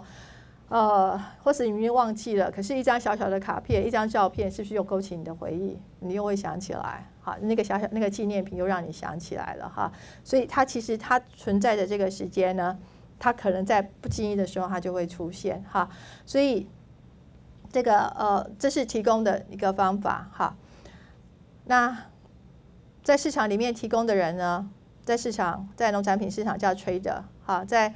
工业产品里面叫制造商，然后在服务里面呢叫做服务提供者。好，那在体验经济学里面呢，你就是一个舞台设计者了，你专门在做舞台的。啊，那这个买方呢，我们买方呢，当然相对于这个 trader 哈，在农产品我们叫 market 哈，然后对这个呃工业产品我们就叫使用者哈，你就是买这个产品来使用的。对服务来讲呢，哎，我们说这是一个客户。哈，是一个 client 比较是呃，像我们讲呃会计啊哈，或者是律师的话呢，他会说，哎，这是你的委托的，你一个委托的一个客户，好，那关系是比较接近。可是对体验来讲呢，我们会把它称为客人 guest 哈，就到你家来拜访的这个客人这样子，所以这个程度是不是又更加亲密了？又更加亲密哈？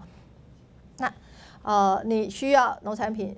是因为农产品本身提供的这个元素，哈，譬如说稻米提供的这个淀粉，啊，鱼提供给你的蛋白质是它本身的一个特性，给我们的食物，哈，棉花带给你，我们将来可以做衣服，哈。那这个工业产品呢，它要有功能性，对不对？好，你说我做椅子，我是要坐，哈，那桌子要拿来写功课，要拿来放东西的，这叫桌子，哈，呃。所以桌子跟椅子是不是就不一样？但你可以超乎想象嘛，桌子变椅子，椅子变桌子，可不可以？也可以嘛，哈，就是它的特性哈。然后 service 你要的呢是一个利益 benefit 哈，可是对经验来讲，你要的是一个满足，一个心灵上面的一个满足哈。所以好，这书上的话呢，就把我们的经济的话呢，好经济体的主要的经济活动做这样的一个区隔哈，我们把它做成这样的一个区隔。所以你想，嗯，我们就看下面这个好了啦，哈，咖啡在农业生产的叫咖啡豆，对不对？在工业制造的是什么？用制造出来的，农民生产，农民生产出来的，长在树上，咖啡树上长的那个咖啡豆，每一个差异都不一样，那就是农业的部分。好，那咖啡豆剪下来之摘下来之后，它要去泡水，然后要把它的这个皮剥掉，剩下里面的咖啡豆，然后再去烘焙，好变成咖啡豆，然后所以它就，所以你可以说是那个烘焙过的咖啡豆，或者甚至你把它磨成粉之后，那就是所谓工业产品，你已经看不出什么了。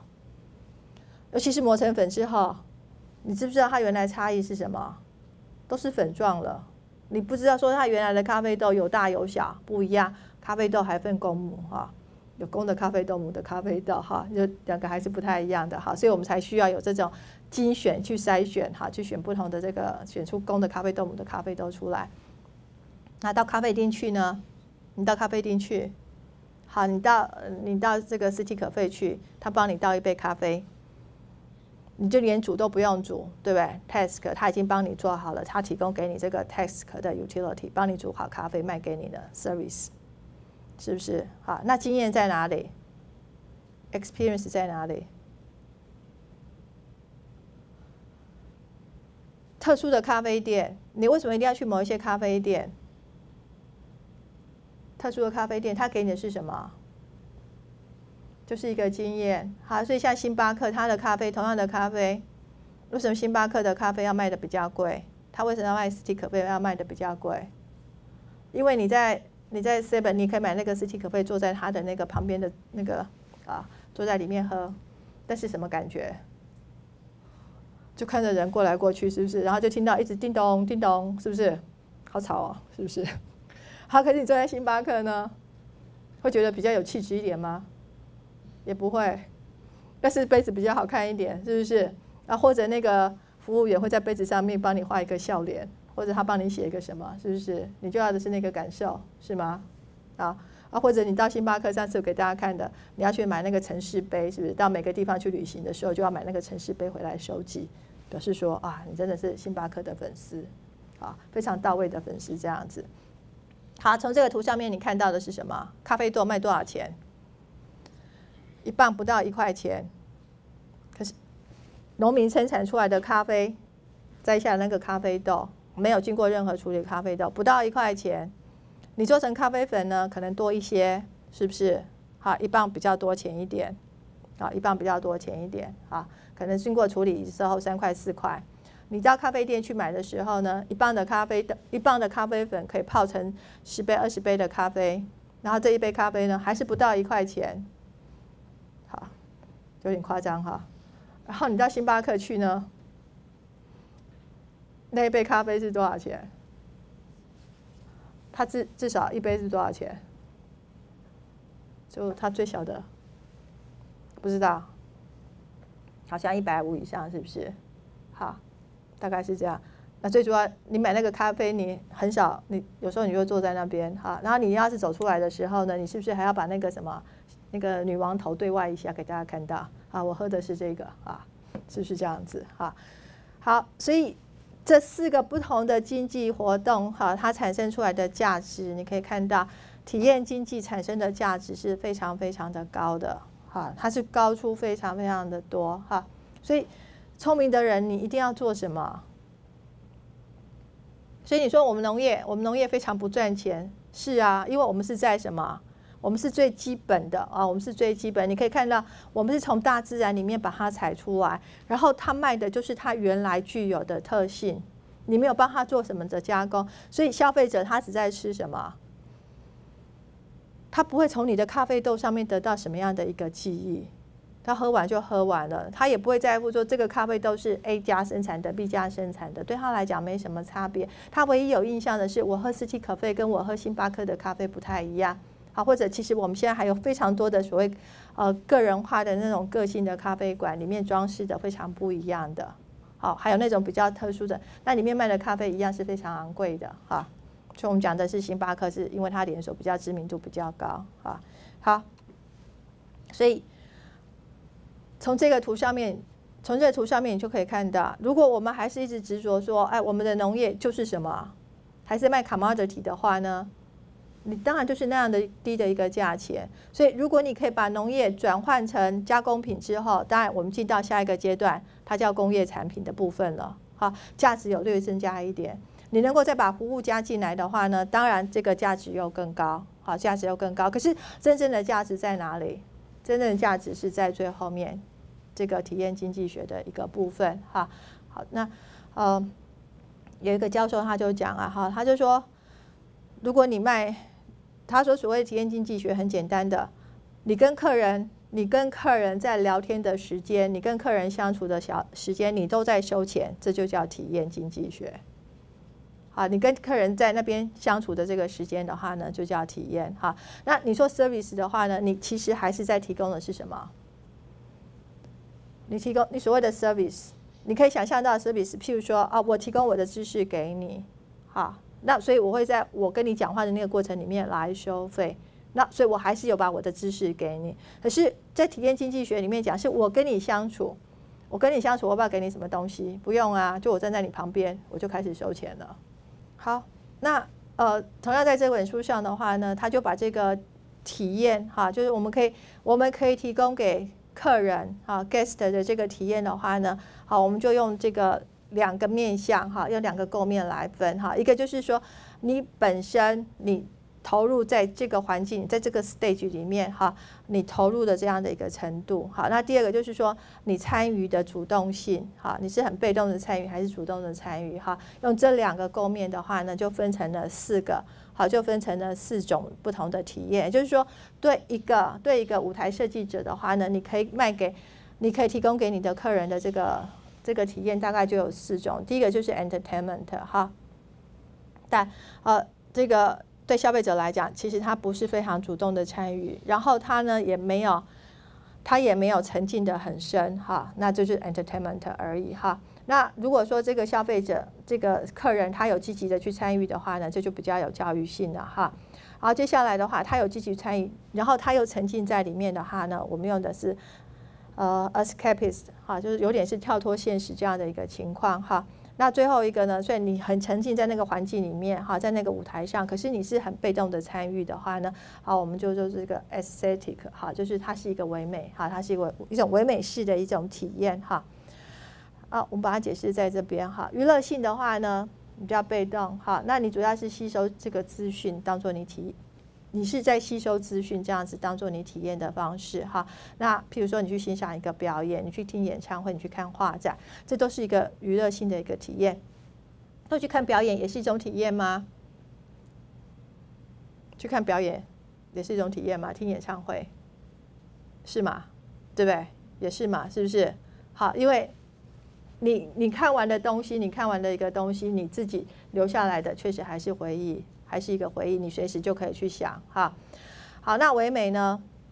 你是主动参，你你主动哈，可是参与的程度不是很，你你你虽然是你还是主动参与了哈，可是呢，你融入那个情境里面，就是在那个舞台里面，你或许你没有需要扮演什么样的角色，可是你可能就是这个舞台中心，你就在那个舞台中心，你非常的非常 enjoy 那个舞台这样子哈。那譬如说你到长城去，你在那个长城呢，你就开始自己在那边。把所有跟长城有关的诗就拿出来念，你就是开始去回想长城是谁建的，好，你就开开始把这个春秋战国时候的历史就拿出来，把把这个蒙恬开始在那边筑长城，好，把孟姜女的故事你就开始把它在那个地方的一个回想，甚至你就觉得说，原来我过去我就是在这边筑长城的，好，原来你就是万绮良啊，你在这边寻找你的这个孟姜女哈，就你是这样就是这样子哈，你在长城或者你在长城你看到。长城以外的那个所谓的塞外的那个风光哈，你就想到那个呃那些游牧民族在那边在那边游牧在那边狩猎的那样的一个情况哈，你就想象到这样子，这就是唯美的体验哈。那教育的话呢，你非常主动的在吸收资讯，所以我们讲说大概有 DIY 的，有 DIY 的这样的一个活动的话呢，但大概就是一个教育性的一个体验哈。那脱离现实的话呢，哈，基本上你是。非常主动，而且是非常融入在那个情境里面，所以你可能就是在你在主题乐园里面的话呢，去参加那个扮演童话故事，哈，变成是像这样的一个情况哈，或者呃，这里面讲的，像有些饭店呢，哈，他就把他的饭店布置的像中古世纪的城堡，然后到城堡去吃晚餐的时候，每一个人都要穿那个中古世纪的衣服，然后大家要扮演公爵啊，扮演那个公主啊，然后站在那边吃晚餐。好，这就是一个非常脱脱离现实的一个体验，这样子哈。好，非常娱乐吧？这是我去去卖啊，去清迈看大象的时候，这个大象村哈，泰国有很多大象嘛哈。然后去清迈的时候呢，那个大象园哈，就看到很多大象表演。那大象当然表演就踢足球啦、跳绳啦、用鼻子跳绳啦，有没有？大概就那些嘛哈。可是他们的大象会画图。好，这大象自己就把他的话具，好，你有看到他的工具吧？这是他自己用鼻子拎出来的啊。然后拎完之后出来之后呢，他就开始画图，用他的象鼻子就开始画哈。我就想他每次大家都画一样的图吧哈。实际上画完以后，你看他还有签名的哈，有没有？大象是有签名的，啊，人家还是都要有画的哈。然后这个画呢，画完之后就开始卖的，在现场就可以开始拍卖哈。那没卖完的变存货，就挂在那个纪念品店那边卖哈。这很可爱的大象哈，非常娱乐，是不是？好，如果我跟他下去一起画的话呢，就有 DIY 了哈。好，唯美呢，到那边就是要拍照嘛，是不是？啊，就是很美啊，你就在那边非常非常的非常的享受这个美丽哈。就像我们这个呃阳明山竹子湖的海域，是不是？啊，这个是前几个礼拜我去阳明山的那个呃公园路灯管理。管理处他们在阳明山有一个花圃哈，那个花圃的这个茶花哈，就一支，然后再再用我非常好的相机拍一下哈，特写啊，就是这种感觉哈。好，那这个是这不是我拍的了哈，在网络上找来，但是我觉得这张很漂亮。这是桐花开的时候，好，我们讲六月雪，桐花开的时候哈，原来这个这个呃。油桐树呢，被日本人引到台湾来，是要用油桐子来榨油的，哈，用这个油桐子榨油。那或许它，其实这个油桐籽不需要做这个食用油，哈，它比较用的是要做工业上面的一个用途的。可能后来这个榨油的这个成效不是很好，好，那这就当然没有继续再开发下去。可是这些油桐树的话呢，就会变，就变成已经在台湾生长了，哈。那当然，它过去也是一样，每一年花开花谢。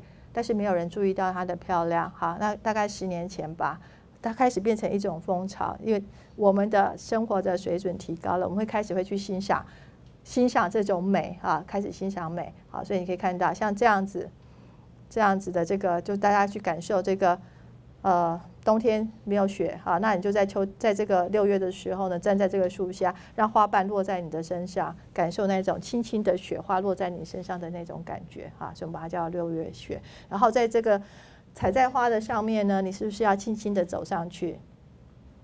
不能够去打扰这些花，虽然它已经凋谢了哈，可是你要怀着那个林黛玉的那种葬花的那种心情，要把这些花好好的收起起来，把它葬起来哈，对不对？好，因为你也不知道哪一天会有人来你的那个心啊，哈，你要送给人家的心呢，人家却不要的那种感觉，哈，就像花一样，它掉下来，如果你没好好怜惜它的话呢，它是不是一样的自开自开自怜？哈，那如果还感受不到，那你就去听这个 George Michael 的 Last Christmas，哈，你就可以知道哈。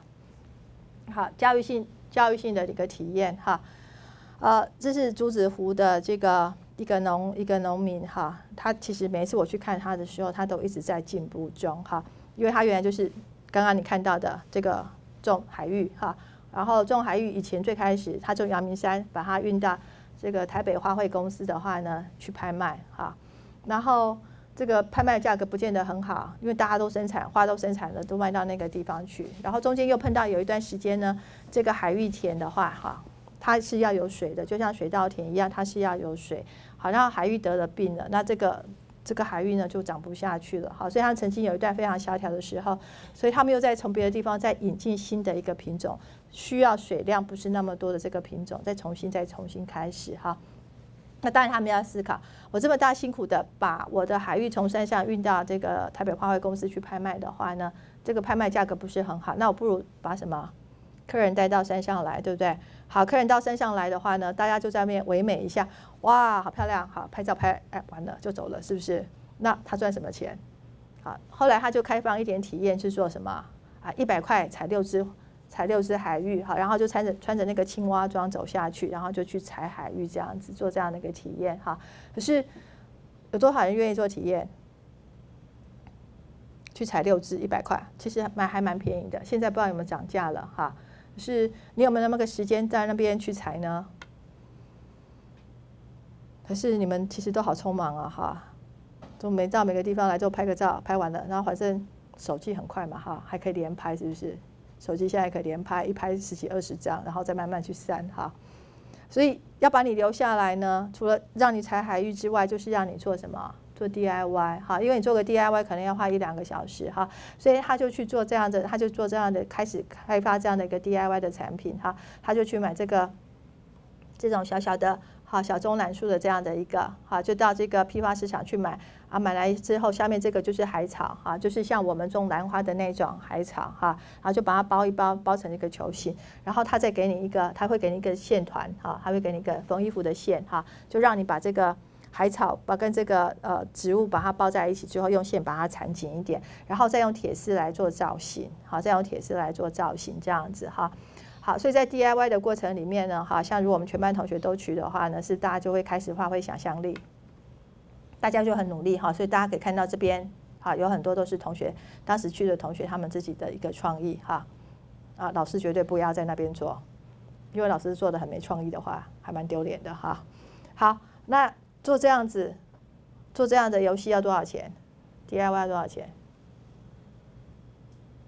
你愿意负担多少钱？成本这个原料成本是很低的哈，但是我告诉你怎么做，我提供材料给你，然后大家就坐在这个地方，我还提供场地给你，你愿意付多少钱来做这个 DIY？你不会说你都没做过 DIY 吧？你愿意花花多少钱？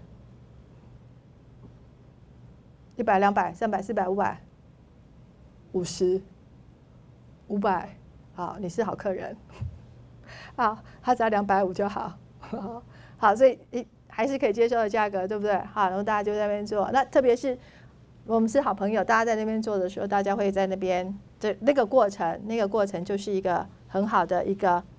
一个，他就提供了一个舞台，是不是？大家就在那边制作哈，所以你会记得是我们在那边制作的时候，我们讲的话，我们做的事情哈，我们怎么样去破坏同学的东西，是不是？好啊，或者是做完之后，我们如何在那边评分，是那样的一个记忆留下来哈。当然，他也做了，他也做了纪念品好，如果像这个，好像老师这个手不是很灵巧的话呢，我就直接买回家就好。好，所以他已经做好的话呢，他就卖一个六百块。就他已经帮你做好造型的，整个都做好这样子，哈，好。那当然你可以带回家，哈，你当然可以带回家。你可以看到这个是什么？这都做的蛮可爱的，对不对？好，他会提供一些模型给你，那但是其他是你自己思考的，哈。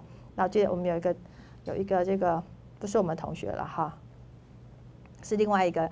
啊另外一个一起参与的人，他就做的是用吊的，好，就是他是把它做起来是可以吊挂式的这样的一个盆景啊。那其实我们都没有想到，我们都觉得说啊，就是看他做的都是放置的哈，所以我们大家都是朝那个方向去想，所以他就做一个是可以挂起来的，好，就可以挂起来的这样的一个啊，那个就大家的来，大概他就是第一名吧啊，因为他已经突破我们的所有的想象哈。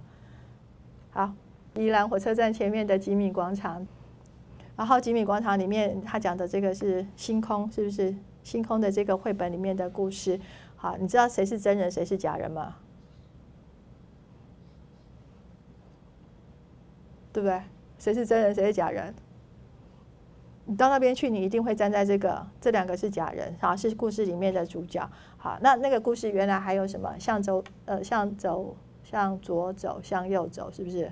好，吉米很有名的一个画本，哈，讲一个男生一个女生，他们每天，他们其实住得很近，可是他们每天早上出门的方向不一样，所以他们都不会碰在一起，然后还拍成电影，啊，是金城武跟。梁咏琪拍的哈，所以所有看过这个绘本的人到那个地方去的话呢，一定要站在啊那个就是那个金城武的那个旁边去拍一下啊。所以知道这个绘本的人呢，一定也是到这边来拍一下啊。所以这是一个非常成功的一个造景哈，啊，你就会融入那个地方，尤其是你看到故事之后，你就会觉得啊，我就是好，我就是很积极的，你不会只是拍这个，你不会只是拍这个这个呃。雕像雕这个呃雕像而已，你会跟着他一起来拍哈。好，其实像桐花是不是哈？刚刚一样，桐花非常呃，因为它本身就是非常唯美嘛哈。可是你会脱离现实的话呢，你会像小女生一样把自己打扮起来，这你就很脱离现实了哈。你平常不会做的事情哈，你就会帮编花圈，然后你会。对，想象你就是这个童话公主一样哈，你就融到这个这个情景里面去哈。这这是几种体验，所以你可以去制造的，你可以制造这几种体验给这个你的客人，给你的客人哈。那那你怎么样去诱导他们觉得这些经验都是非常美好的？好，你说啊，去拍这个杜鹃花，你你会觉得？你在排的时候，你会觉得很愚蠢呢，还是你会觉得非常的，你非常的高兴？你带着什么样的心情来排这个花瓣，在这个草地上排这个花瓣？那你会觉得说你在排的时候，你很怕人家嘲笑你，所以你要趁着半夜来排，还是说我一点都不害怕？我觉得这是一个哈，我自己本身就我觉得我今天就是这样的一个心情，我就要做这样的一个事情，我就要排这个花，我要排这个图案出来，是不是？好，所以当你在当你去经营所谓的体验经济学的时候，你把花瓣给给你的客人，让他们去做这样子做任何的一个，让他们自己去扮演任何一个角色。好，你去你去把这个同花，然后给你的客人说，你会把这个桐花戴在你的头上。有多少人愿意说好，我把这个桐花插在我的头上，扮演这个？是一种村姑的打村姑的感觉呢，还是说我我觉得这个桐花跟我搭在一起会让我更加分，让我更加漂亮呢？是不是？好，这就是这个体验的一个部分哈。好，所以我想刚刚在这个例子里面，大家可以看到，我先把我先把我很漂亮的海域田的这个唯美的景观做出来，好，所以我先把客人吸引到了。吸引到之后，我是不是可以开始去贩卖我最基本的我的农产品，就是我的花的那个部分？好，我的这个呃海域，我的海域的这个花的这样子，我可以卖给人家哈。那在 DIY 的这个地方，跟比较可惜的，它跟海域没有做任何的连接。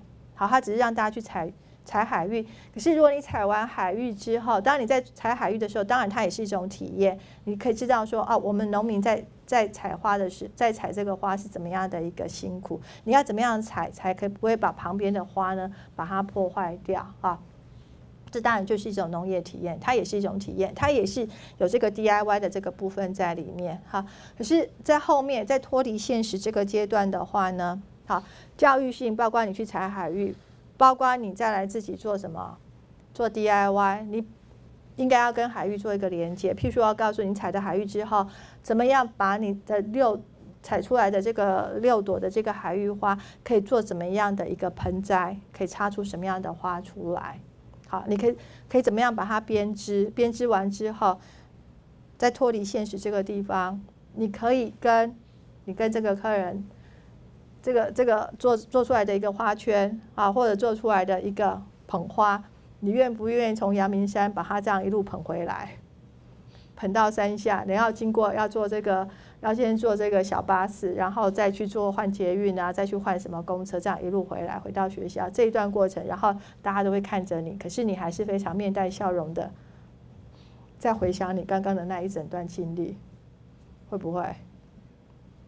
那每次这个在三四月的时候，就会常看有些人去采海芋，然后结果他的海芋花呢就放在那个红白塑胶袋里面，然后就这样拎回家啊，就觉得多么的可惜，是不是？你应该拿回家的是什么？是一个已经编织好、非常漂亮的哈，甚至你在那个地方你可以去感受，甚至我可以提供你衣服。你把你这个花，把你这个花编好之后，编成一个，编成是一个像新娘捧花一样，然后你可以在那边去穿着新娘礼服，然后就在那个海芋田拍一个很漂亮的什么假的婚纱照，对不对？好。就感稍微感受一下这样，或者你去穿一个什么样子的一个衣服在那边拍照，脱离现实一下，应该是这样的一个这样子的一个组合的一个这个体验的话呢，其实是更加吸引人的，不是吗？对不对？好，好，所以应该不要再出现那种红白塑胶袋了哈，就大家可以想一点哈。好，在刚刚的这个几种体验哈，那所谓农业观光呢，哈，这个书上。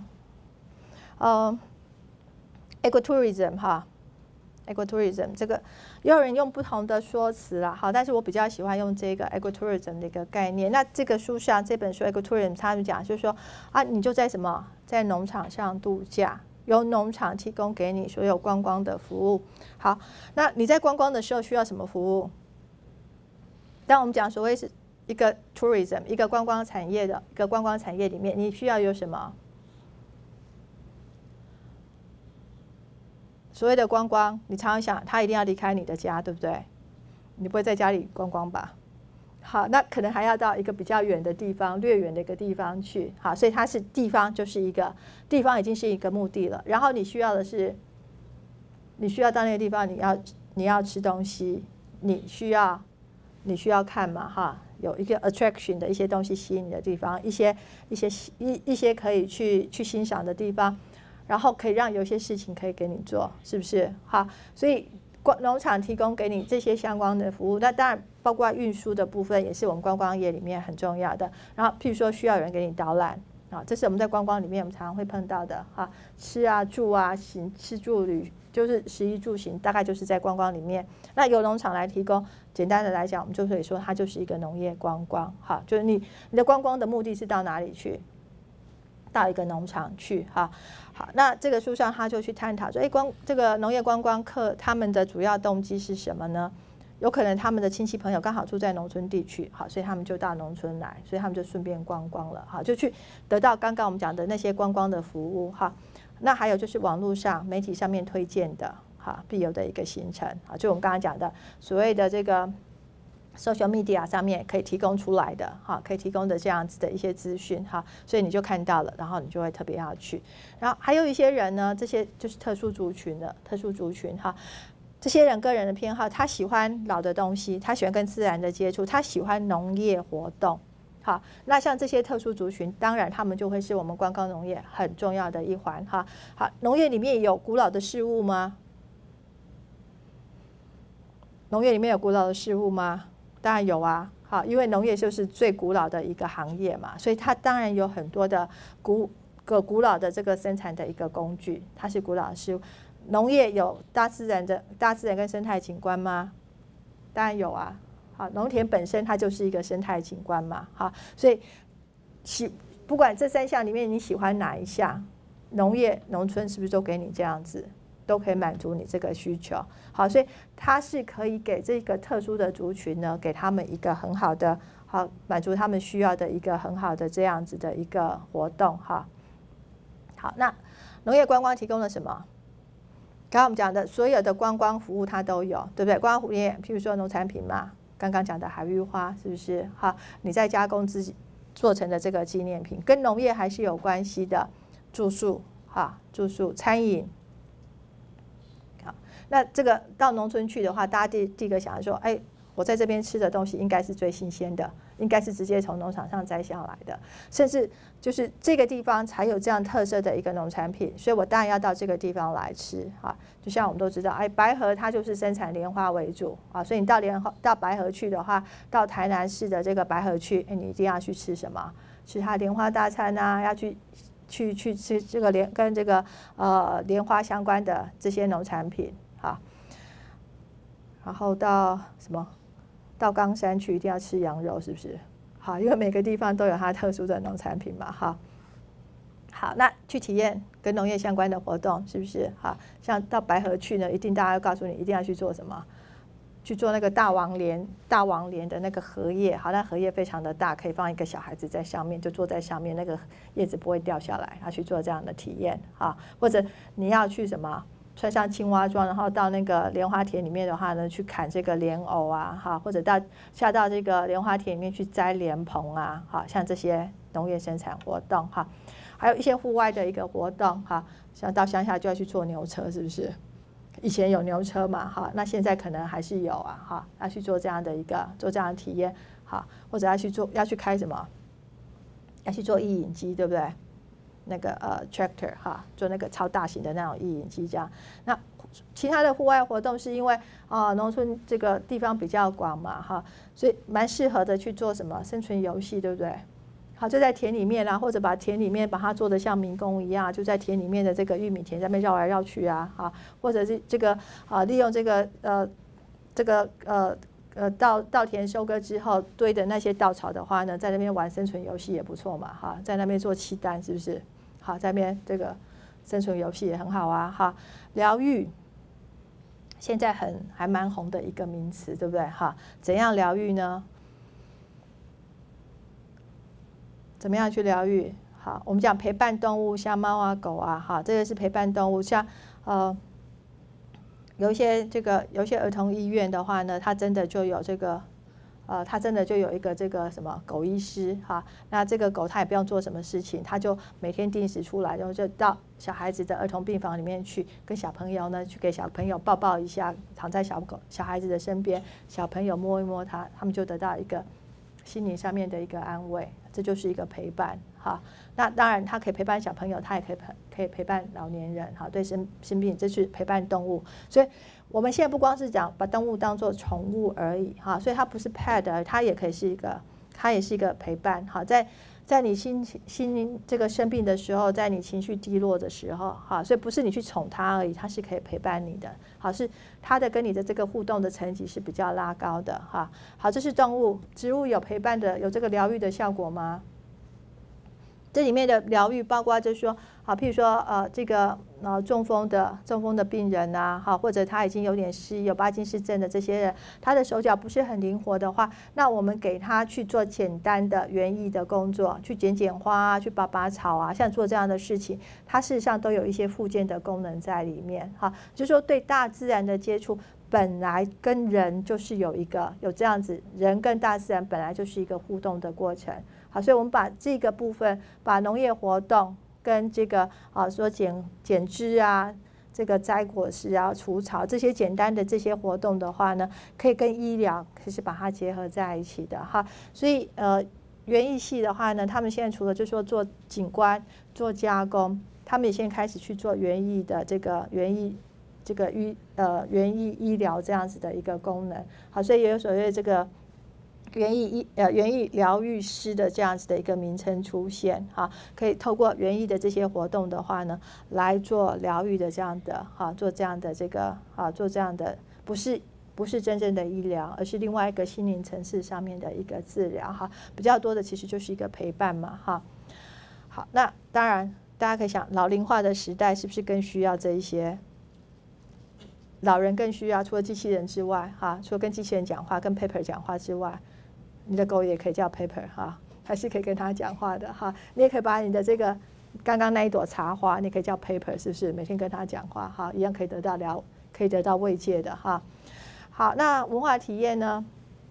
就我们喜欢办什么祭，对不对？哈，像这个白河的莲花祭呀，哈，或者是这个呃客家乡的这个桐花祭呀，哈，就是把他们传统的这些啊产业活动的话呢，把它整合在一起，哈。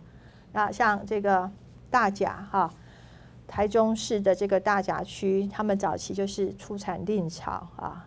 出产这个蔺草，然后它可以做编织，它可以做草席，它可以做草帽，啊，它也曾经是台湾很重要的这个出出口的这个加工品啊。那当然后来的这个呃，没有人在戴草帽了嘛，对不对？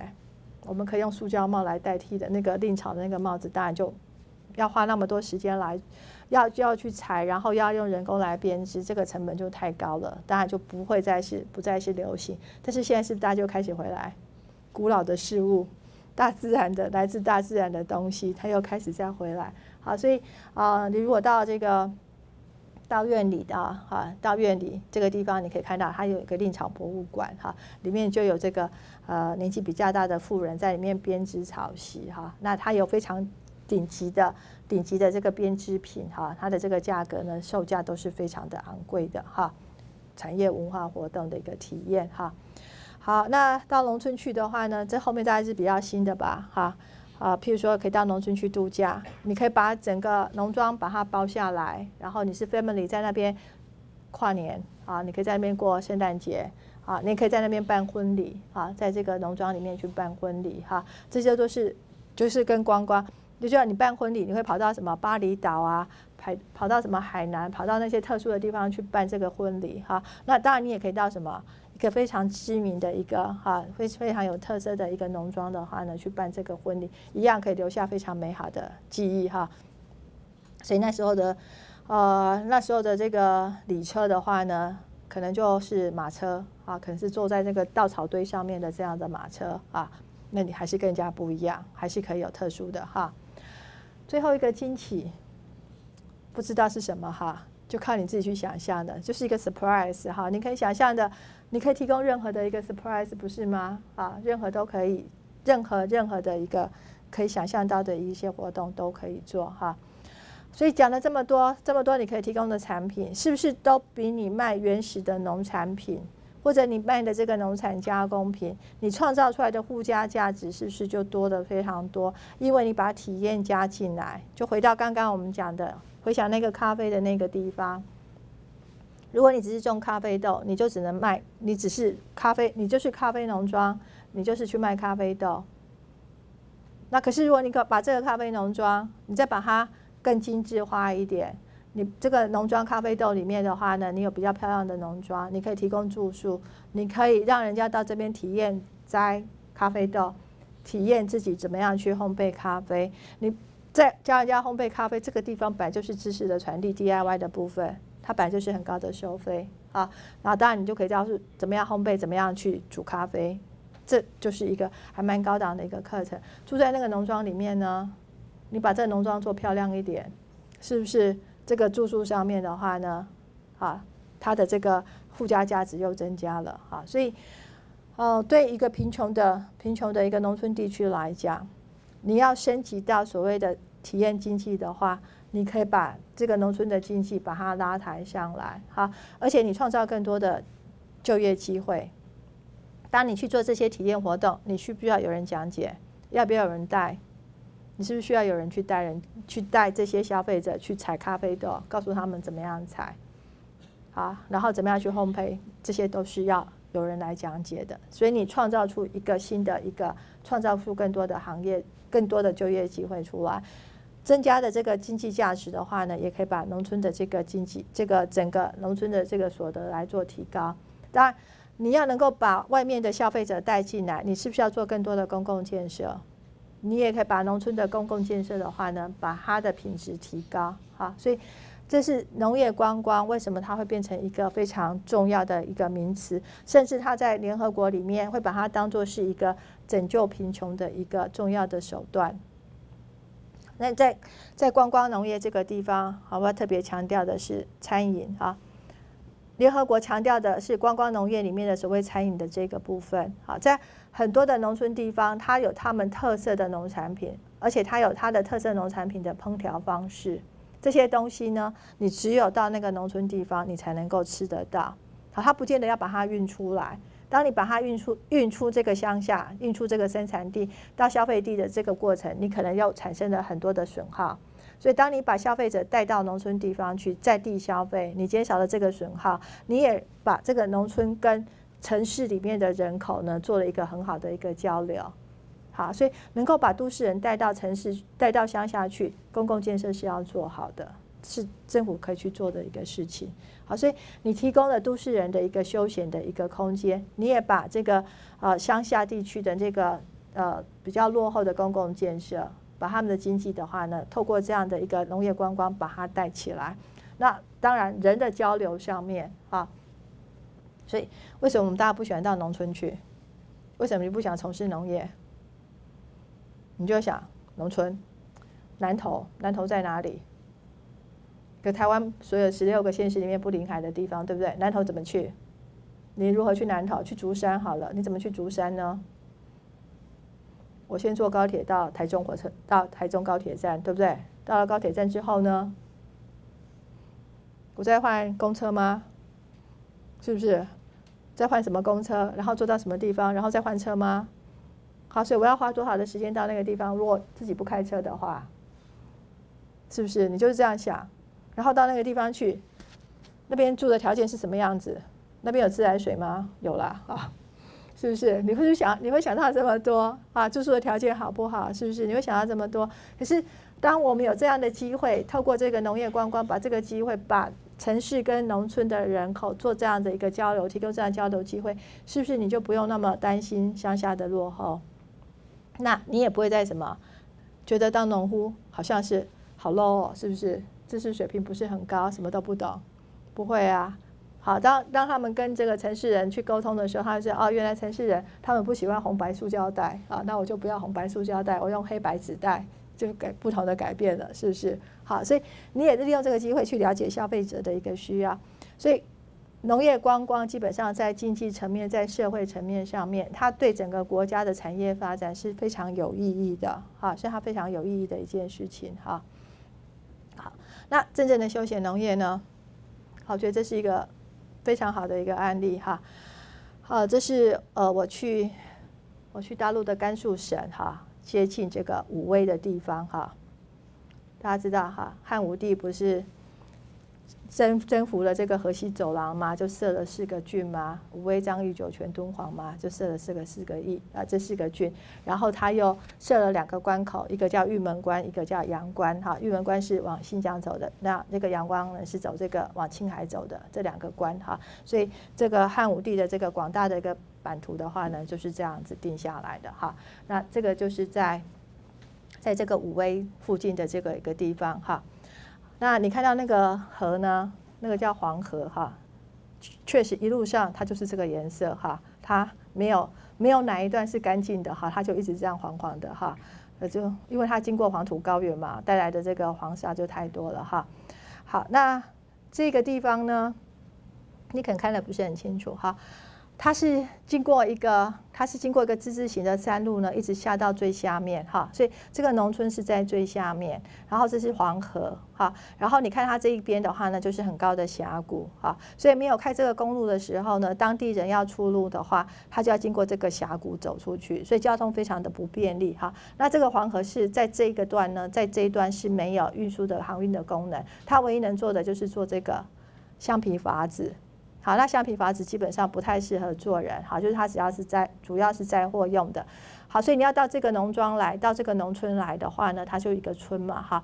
那以前就是你要走这个山，经过这个峡谷这样进来，哈。那现在呢，就为了观光，就是他们去做农业观光，所以他就开了一个山路，一个自治型的一个山路，哈。所以这山路就这样一直一路的从最高这样一路走下来。所以当他每次转弯的时候呢，你就看到那个山下的景观。那个景观，你就会开始不断的一直在那边，那个手机啊就开始一直按，一直按，一直按哈。可是转的速度是非常快，你大概都按不到哈。那你就下到最下面去，下到最下面的话呢，你就要换到他们的电瓶车哈，你就要换他们的电瓶车。也就是说，其实呃，当在这个停车场的时候，这游览车进到这个这个呃这个游这个游乐区的时候，好，停车场停下来。然后这段山路呢，是先有当地，就是这个游乐区的这个呃大巴把大家接下来，接到最下面去。你要去哪一个农家呢？又变成是用电瓶车来接你，因为为了不要污染哈，所以它就变成像高尔夫球的那样的一个电瓶车，把你送到你要去的地方去啊。你要比如说，哎，我们订了哪一个农家，要去哪个农家。要去那边啊吃吃中饭呐，或者晚上在那边住宿的话呢，好，就他帮你送到那个地方去。那现在你看到这些树的话呢，它都是苹果树，或者是枣子啊，或者是枣树这样子，就是都是果树。以当地生产主要是以这些为主哈，就是葡萄啦、枣啦哈，或者苹果这些比较温带的一些水果哈。好，那你下去之后，你当然就吃饭嘛哈，因为已经大概中午了哈，去到那里大概中午你就在那边吃个饭。吃完饭以后呢？当，当你在农家吃的话，那个、那个、那个煮菜的，哎，真的就是那个农家主人哈，他就跑出来，哎，看看你们的菜好了没有哈，然后他就说啊，等一下再帮你们加个菜，然后就到他们后面菜园去采菜来，马上洗一洗，就马上炒给你吃这样子哈，然后我们大家就觉得嗯，好有好感动啊哈，就是那个菜真的是最新鲜的这样，然后他，然后我们就到这个到这边到这里啊，既然到黄河嘛哈，一定要做什么？橡皮筏子对不对？好，那橡皮筏子就是用羊皮啊，就是用羊皮，然后吹气，然后把那些羊的话呢，把它兜在一起哈，那就用几根木头就钉在那个框，然后就把那个大概大大小小都在一起，大概有十只的这个羊皮都在一起，然后把它充气之后，就让它顺着这个黄河顺顺流而下，这样好，所以呃，这个羊皮筏子的话呢，就是在这个河西。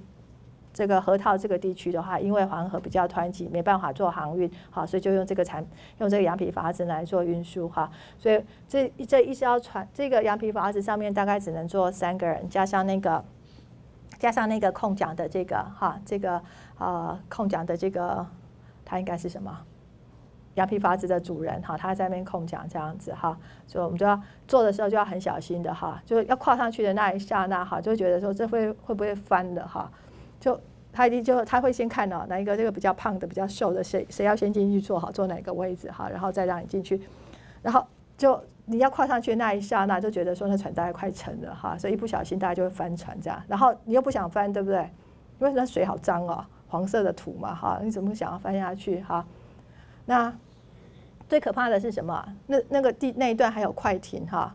但我们说它没什么航运的哈，不过它真的就是个快艇，它会从你坐下去的时候，再从那一头把你送回来，所以有快艇。所以快艇过来的时候呢，就会有水波，对不对？那水波过来，那个 那个船那个橡皮筏子就会晃得很厉害。好，那你又没得没得没得抓，啊，就没得抓，然后就是你就只好这个跟着那个船一起晃吧，啊，那你要是站起来的话，你大概就掉下去了哈，所以只好跟着它一起晃这样，然后就把你所有的性命呢寄托在那个。在那个划桨的那个人身上哈，哎，有了有穿安全有穿这个救生衣了哈。好，那到了以后呢，你还说什么体验？到了之后你要坐驴车哈，那坐这个驴车的话呢，哎，这是就就有拉就有人拉驴车哈，他就拉这个驴车。那这个驴车的话呢，又不能让，因为他一直都是走这个石头路，而且都是上坡的路哈，所以。呃，太胖的呢，他就会看一下看 size 才决定了哈，你们几个人可以坐哈，然后那个比较胖的要坐后面哈，要上坡的时候啊或者下坡的时候，他就要不同的安排这样子哈。好，呃，就进到这个峡谷哈，那以前你就会想象他们的出入呢，就从这个峡谷这样子穿梭。好，这个完全没有铺柏油，也不需要铺了哈，因为是这个驴子坐，是驴子在走的哈。好。啊，你要你要问我说这个驴车好不好坐？你坐坐一趟下来，你那个骨头大概快要散掉了哈，那颠的好厉害，非常的厉害哈，非常的不舒服哈，因为它它就是那个木板的，然后下面那个石头就这样很硬很硬的这样子走哈，所以你大概走个一小时就好，不要走太久哈，就可以走回来了哈。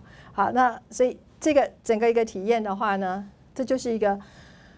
这是让你可以在那个地方大概待上一整天哈，然后在走这个峡谷的时候，他就会告诉你哈，我们这个拉驴子的这个都是老先生老太太哈，那驴子大概都是他们家的哈，那这橡皮筏子大概也都是那个他们自己原来农民的，好，所以原来农民他就是靠种果树，好，靠种果树卖果树，可是他其实不太容易卖出去，因为交通不方便，他其实不太容易卖卖出去。可是当他开始做这些所谓农业观光的时候，到这边来的人，你一定要做什么？你一定要吃饭嘛，因为你进到这景区之后，你是走不出来的。好，刚刚我讲说啊，你从山上这样一路走下去，然后到那个农家，你要坐电瓶车进去。那那个那那个里面的这些路的话，就在果树丛里面走来走去，就像我们的产业道路一样，你根本就是摸不出来的啊。好，那你一定要体验这个。所以农家他们大概自己就去做这个羊皮筏子，然后他们就可以啊，就当这个呃旺季旅游旺季的时候，他可能一天要跑个十几二十趟的这样子，好，他就顺流而下，然后再把这个橡皮筏子再再到上游，然后再再接下一批客人这样子。然后这这个驴车也是一样好，就他们老先生老太太家里面原来的驴子，他现在就拿出来。就做就做这个，哦，给这个呃观光客来做这个体验的这样的一个活动，然后当然他会跟你导览哈，就这个你看这个山壁像什么，这个山壁像什么，然后他告诉你这一段呢就是哪个电影在这边拍的，那某某人呢他就坐在这个位置，他就坐在哪个位置，你要不要到那个位置去拍一下，感受一下，好，当年某某人他在这边拍戏的时候什么样子，好，就是解说，然后体验通通都出来了哈，那当然在这边我们有体验到的是什么？我们有去所谓的采采采水果的那一段，好，可是那一段基本上可能那个就比较普遍，它就比较没有什么特色，哈。可是在这个地方，你这种体验，你可能在别的地方是体验不到的，好，可以。可是我要强调说，这个观光农业它是以整个区来做，整个乡镇来做，它不是只做一个农家。好，就我不会大老远，我就只来这个农家而已。我有很多个农家是可以挑，所以他把它整合在一起。你到这里来，其实你可以在很多不同农家里面吃饭。你不在农家吃饭没关系，在他的这个呃，在他的这个呃商业中心的话呢，可能还有一些比较比较现代化一点的一个饭馆，哈，就比较不一样的这样的一个饭馆，你可以在那边吃饭。好，可是你像这些体验的话呢，大概所有人他都会去做这样的，都会去做这样的一个体验，哈。台湾有没有这个条件？你说大自然景观也有，农业体验也有了，是不是？农业相关活动体验都有了。我们台湾有没有这个条件？要用一整个区来做，好，用整个乡镇来做。那你可以看这么多的一些活动，这么多的一个活动在这里，我可以把你留下来，对不对？好，你来这边，你做蜻蜓蜻蜓点水的这样一下子，那我可能只赚什么？我可能就是卖你苹果，卖你葡萄，这样你就走了，就是农产品的部分。你做一个体验，你在那边做一个橡皮筏子，你做一个骑驴的一个活动的话呢，那可能就是你要增加一两百块的一个消费。你再吃个饭，那也可能就是一两百块的一个消费。你再加一个住宿，那又会再增加了。好，所以我能够把你留的越越久，你的消费金额就越高。那我如何把你留得越久？我要给你更多的体验，我必须提供给你更多的一个体验。好，所以不是一个农家可以撑起一个农业观光，它必须是一个很大的、一个更大的一个范围来撑起这样的一个撑起这样的一个农业观光。好，那它必须也要有特色，它真的要有特色。哈，那我要讲的是啊，你可以看到这个呃地方政府在交通建设上面，譬如说，包括开出这个山路出来。包括提供给他们的啊，这个啊到这个景区里面的所有的这些大众运输的一个部分，包括这样的一个要求，啊，还有到景区去的那个停车场的，像这些公共的建设，这都是政府应该要去做的啊。那当然呃，在在这个旅游的过程，我们也跟这个旅车的主人啊，跟这个啊做橡皮筏子的这个主人的话，跟他聊天啊，过去你们怎么样，现在怎么样？当然，观光的一个部分的收入。对他们来说影响就非常大了哈，嗯，所以他会说以前年轻人他们就离开，不会再回来啊。那以前离开怎么离开？就经过这个什么这个峡谷走出去啊。这个峡谷很容易的，可能辛苦的走出去之后，你也不想再回来。可是现在呢，你要不要再回来？你在外面，你在外面流落他乡。对不对？好，你流落异乡，在那边去帮人家打工，跟你回到自己的家乡的感受应该是不一样的。好，所以如果你的家乡可以有很多工作机会，你需不需要到其他外地去？你不需要吧？是不是？好好。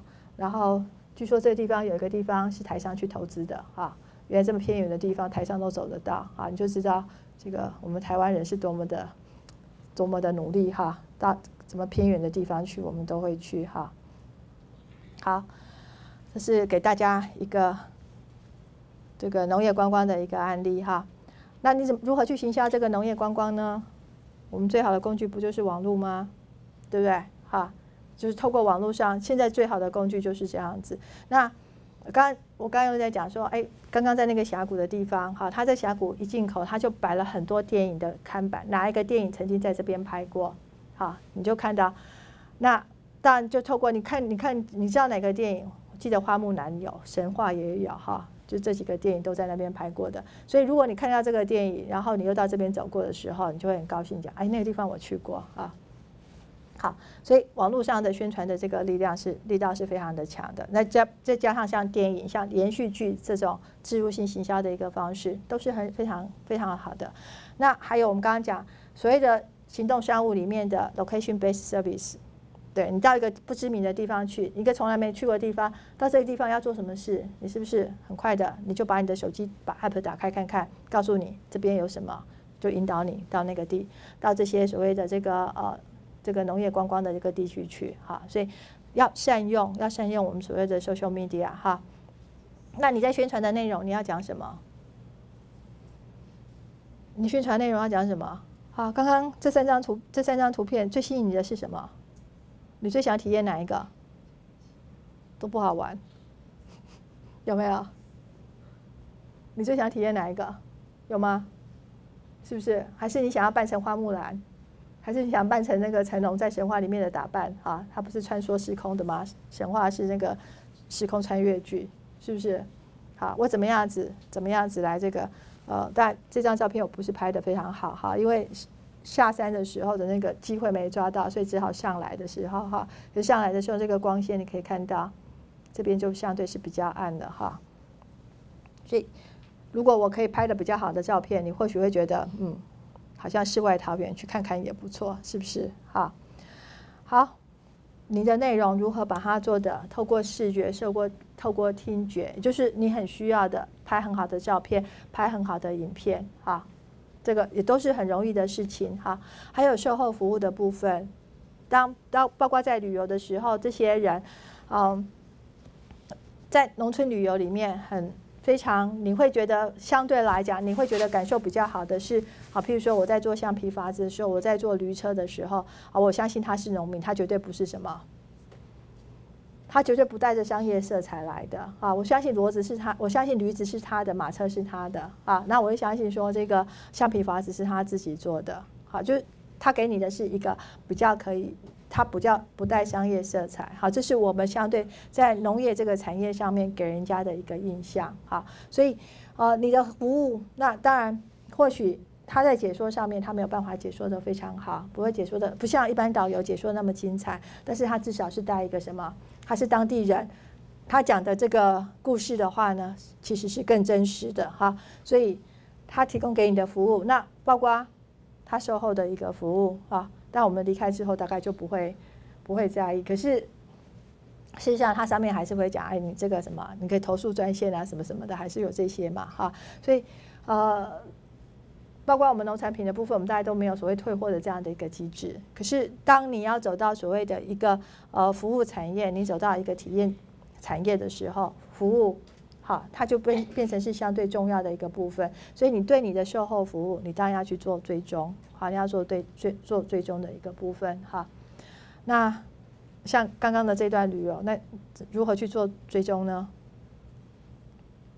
其实我发现大陆它，嗯。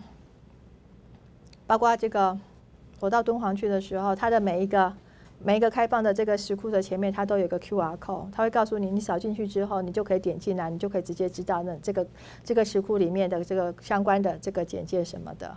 好，那台湾大概也有类似像这样的一个功能哈，就你如果去故宫的话呢，或许它已经装了一个 Q R code，一样你可以扫进去，拍不能够拍照，可是。呃，当你进到这个相相连的这个网站上面的话呢，你就可以看到啊，你就可以看到那个拍的很漂亮的照片，很清楚的一个解说这样子哈。那可是你你的售后服务好不好，应该也就是后面的消费者他有没有继续再去看什么你的相关的一些介绍？好，那你有没有提供一个机制，是让消费者可以那边表达他们的意见？因为我不用在当场做意见调查，是不是？但是我还是可以在事后透过这些这些网络的这个 social media 的话呢，来做我这个消费者意见的一个收集。哈，好，那所以我要强调的，我要强调的，在我们农业过去我们都不强调售后服务的一个部分。哈，可是当我们把它走到农业观光这一块的话呢，我们必须把这个这个机制的话呢，把它做出来。哈，那你也不要讲说，哎，因为我是农民啊，我当然不懂啊，哈，我什么都不会啊，所以我当然就这样子对待你，这不是一个理由，好，这不是一个理由。当你要跨大农业观光的时候，那所有观光服务该有的品质，你当然都要做，好，你都要提供，你不能再说啊，我是农民，哈，这不是，这就不是理由了，哈。好，那我做一个结尾，好。其实为什么要讲这个？为什么要讲这个主题？好，我要从产，我要从体验经济学讲到农业观光，因为我想对台湾来讲，好，对台湾讲，台湾的整个产业的一个发展，当然我们有所谓的这个 IT 产业在那个地方，哈，我们帮人家做代工的那个，确实是，呃，确实还是有它的存在的一个重要性，哈，它它或许它雇佣人不多，可是它创造出来的产值是相当大的，台湾不能够没有他们，可是除了他们之外，我们还有那么多的就业人口，怎么办呢？你必须去发展我们自己好我们在地的一个产业，而不是以出口为主。你说观光农业呢？它不是出口为主，它其实是把国外的这个观光客带进来，是把国外观光客带进来。好，所以我们国内没有足够的内需市场，那我必须要靠什么？国外的观光客来撑这样的一个内需市场。那农业观光，就如果你要比自然的景观。大山大水，或许我们没有，比不上那一个，但我们是小山小水，也不是太丑，也不是太差。但是农业观光，我们起不起得早，而且，呃，就整个台湾过去发展这个历史来讲的话，台湾是一个非常多元的一个多元的一个文化的一个地区哈。所以我们可以追溯到四百年前的话呢，最开始是什么？有西班牙人，后来有荷兰人，然后有日本人。然后再从大陆来的，是不是大陆来的一个移民？所以在这个台湾的土地上呢，事实上是非常多元的一个文化，一直流传在这个地方，所以融出来是一个台湾特殊的一个文化。那再加上我们的一个农业是我们的一个基础，从这个农业的基础上面去发展农业观光，当然是有我们的优势在哈。是你发展农业观光，你不能忘记是什么？你还是要农业。好，我们后来很多的这个休闲农业呢，他们在比什么？在比谁盖的农舍比较豪华，谁的农舍盖的比较特殊，你该有的农业生产呢，已经都忘记了。好，所以你既然叫农业观光，你的农业当然不能够忽视掉。所以刚刚我讲的那个例子，既然那么多观光客来，那干嘛还要去种，还要去种苹果，还要去种葡萄？这本来就是它的基本产业，人家到这里来，当然还是会去吃什么。我还是可以买你的苹果带走哦，还是拿你的葡萄可以带走啊，对不对？好，因为你就是说这是当地生产的，而且现在是最好的一个季节，我来了我还是会品尝哈。那但是要的是什么？我们要把区域做大，好，所以我们会讲说，哎，休闲农业区，我们要去做的是农业观光区，要把整个区域把它做大。你相对你要去做提升品质，你要的服务内容，这个它的整个要。所以这个呃水准的一个提高的话呢，你当然要有所谓的经济规模出现，你才能够有足够的投入哈。所以我们必须在文化的一个角度，我们还是要保留我们的文化，只是你必须要把你的产品的这个服务产品的内容，你必须要达到国际的一个水准啊，因为你要面对的是国际观光客，他不会说，啊你台湾比较落后，所以你的所有的服务条件比较差，我可以接受，你该有的。你该有的，譬如说最简单的，你环境的卫生，你交通上的一个安全，就是你住宿的一个品质，它的清洁的程度，这不是最基本吗？这应该都是要达到的哈。所以你说虽然在乡下条件比较不好，可是干净的条件，你是不是还是要比较这个基本的一个门槛？好，我可以拿到五星级的饭店的一个标准，那我当然还是朝那个方向来努力哈。最重要的是我们的宣传。我们的宣传好，所以这边的宣传就像我刚刚讲的，我们的宣传我们要用什么方式宣传？我们在网络上我们要制作影片的时候，我们要去做影片宣传的时候，那我们还是找一堆国国人，找我们自己的人，然后在那边讲国语这样宣传吗？还是说我们应该把它国际化一点？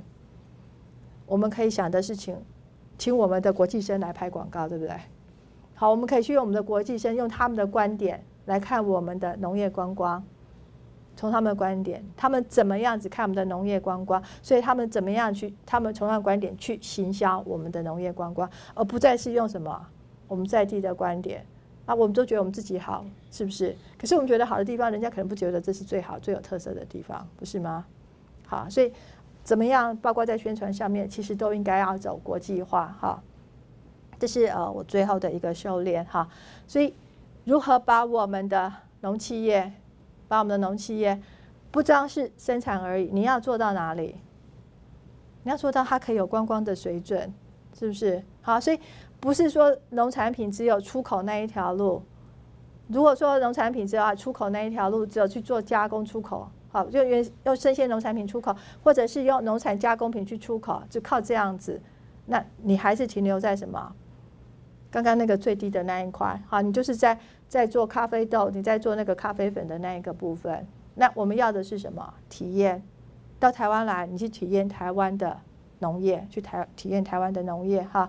所以你可以想嘛，我们卖香蕉呢，还是让外国人到台湾来采香蕉，对不对？那外国人到台湾来，香蕉产业有什么好体验的？要体验什么？叫他们去扛香蕉，是不是？好，那那个那个一穷的这个哈，那个一整串的橡胶，让他们去砍下来，砍下来之后呢，怎么样去去用乙炔把它这个后手是不是？好，或者我们不知道这个我们过去的这些呃这些这个呃橡胶生产地区的话呢，他们有些什么样的一个产业活动？然后或许过去他们有什么样产业文化在里面？是不是我们再把它挖掘出来？把它挖掘出来之后，我们再把它再把它去做一些再做一些。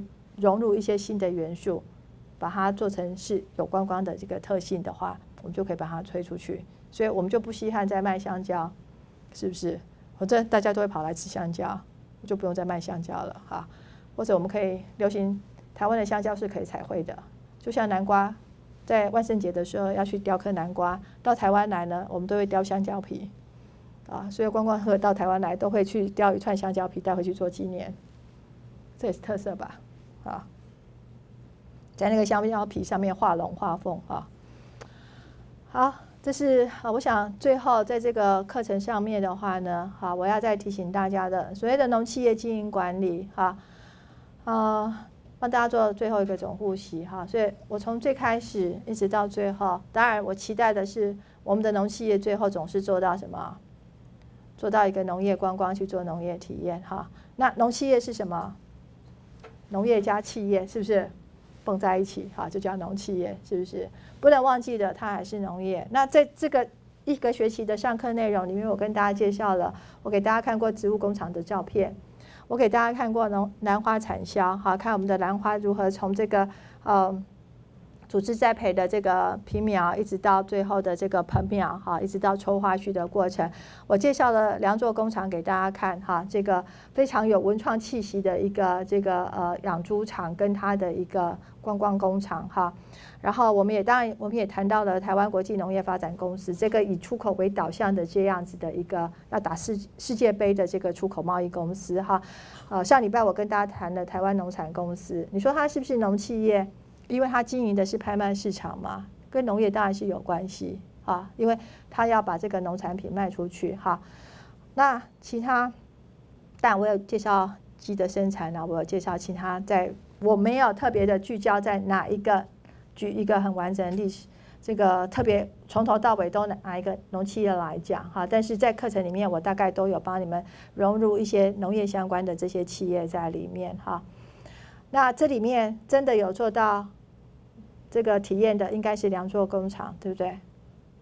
好，两座工厂的话呢，它的它没有让我们看养猪场，但是它在分切厂的部分可以让我们看到。然后它有 DIY 的部分啊，然后它也提供了这个好 DIY 这个给大家做体验的部分。好，所以基本上它已经走到所谓的体验经济学的一个部分。好，这是呃应该说这么多的案例里面，它算是一个走得非常快的一个非常快的一个例子哈。那我秀给大家照片里面，大概你也可以看到，两座工厂很强调的是什么？视觉是不是？感官的一个部分，它的一个外外在布置的一个部分，哈，让你不会想到说啊，原来它跟养猪产业是有关系的，哈。好，那一样，当然像兰花产业来讲，兰花产业现在大概兰花产业没有人去做体验经济学的一个部分，那我们可不可以去做？好，其实我们已经有一个在后壁乡，在后壁区那个地方，已经有一个兰兰花科技园区，那个地方其实就是一个产业产业聚落的一个部分。那如何把它再往这个体验经济学的地方再去做一个发展，再去做层次的一个加深啊？它其实已经有一个基础了哈。好，植物工厂算不算农业？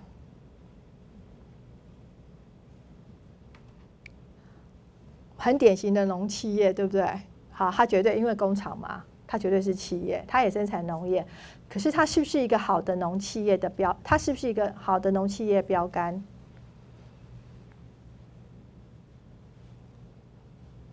刚才在强调的，最后为什么我要去讲农业观光？因为我希望我们期待的是农企业可以带动的是农村经济，啊，不是只有你个人的公司哈，你能够带动的是农村经济，你可以带动的是农业整个产业，而一个植物工厂呢，它能不能带动农村经济？你不会聘很多人，他也没有真的用到农业的。它就是弄到那一块地而已，它其实没有用到很多的农业，没有用到很多的自然资源。它对农村经对农村经济，它对农业其实没有很大的一个贡献。基本上，我不认为它是一个很好的农企业的一个典范。好，但是我们会需要它，我们会需要它。好，因为毕竟还有些时候，我们的这个自然生产没办法供应的时候，植物工厂它可以去弥补弥补一部分的这个啊，比如说。这个台风好雨之后没办法生产，补那个啊供给的一个缺块的部分哈。那真正的真正农企业哈，真正我讲农企业，我还是强调它必须在土地上来生产，好，它还是在土地上生产为主哈，还是要利利用大自然的这样子环境哈。那小农算不算农企业？就我们现在标榜小农，对不对？好，我们就觉得小农的产品啊，规模很小啊，那都是他自己种的啊，那所以他的会种的比较用心啊，所以这小农，小农是不是农企业？它可以是，它可以是企业经营，但是它会不会长大到一个真的像企业规模那么大？小农它既然叫小，所以它耕作面积呢，可能几分地，一公顷、两公顷。它可不能做到十公顷、二十公顷、三十公顷？它会不会把所谓企业，我们讲企业里面很重要的，就是在它的组织结构上面，哈，在这边我们看的组织架构上面，它会还是用这种独资的方式、合伙的方式在经营，还是它会变成股份有限公司？其实很多小农他就还是什么，他还是独资，他还是独资的一个模式。所以包括他的财务上面，包括他在财务上面，包括他的行销，包括他对人员的这个管理上面，其实他都没有把成为企业企业管理的精神把它纳进来。哈，就呃，我我在台湾的这个呃，跟台湾的这些很不错的这些农民接触的经验上面，哈，我常常问他们说。啊，你的生产技术很好啊，你现在卖的非常好啊，养鸡养的很好，养猪养的很好，种菜种的很好。你接下来下一步下一步是什么？你有没有接班人？你有没有接班人？你的小孩子愿不愿意继续继承你的事业？这是为什么我们要企业经营的一个原因，这是。就是我讲，我在这个地方强调的企业，我比较偏向的是在组织上面是以公司方式来经营。好，不要强调的是这样子，因为当你以公司方式来经营的时候，你接班就不会是问题，接班就比较不会是问题。你不用担心说，好，我很会养鸡，那我养鸡的技术呢？我儿子不帮我养了就没有，就到我这边结束了，没有人帮我继续养管理这个养鸡场，我只要把它卖掉。哈，那目前来说，我发觉台湾的这些。不管是小农大农，在精神上面，他们都不会想要去往所谓的公司的方式去转变，因为他们都不想去被课税，他们都不想被课税，好，因为当你做做成公司的时候，不管你独资、你是合伙或者你是公司，都要面临十七 percent 的这个营所税啊。那这些现在这些农这些这些做的不错的农民，他都不想去面对这样的一个问题。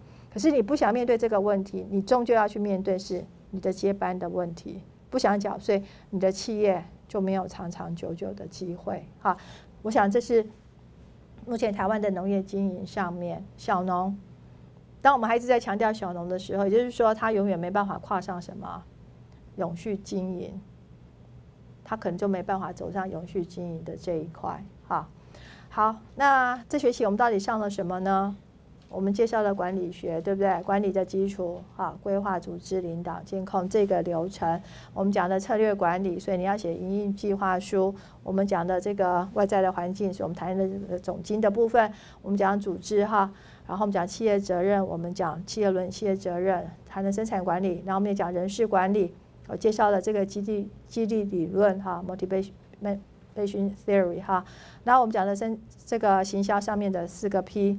最后在财务管理的部分呢，我们稍微带过了财报哈，呃，损益表啦，这个资产负债表，谈的这个比率分析哈，还有最重要的。在你的营营运计划书里面要去呈现的，你的计划评估的内容的部分哈，这大概就是这个整个学期我们谈的。那这些内容的话呢，不光是只是在应付农业，是不是？你在其他的行业，你在其他的行业上面的话，你一样你要面对的。当你在所谓的你只要是经营一个企业一个 business，你都是要面对这些问题的。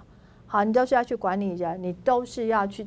管生产，你都是要去销售的，那问题都是一样的，只是我们稍微把它聚焦在农业这个部分哈。那在农业这个部分的话，当然这里面我可能跟他他谈的也比较多一点，有谈涉及到政策的一个部分啊，有涉及到政策的一个部分。那或许嗯，就农企业管理学来讲，那个是比较额外的了哈。不过也希望。好，以这个课的这些我们讨论到这些内容的话呢，也让你有更大的空间，可以去在后面的课程上面的话呢，有一些更好的一些反省哈。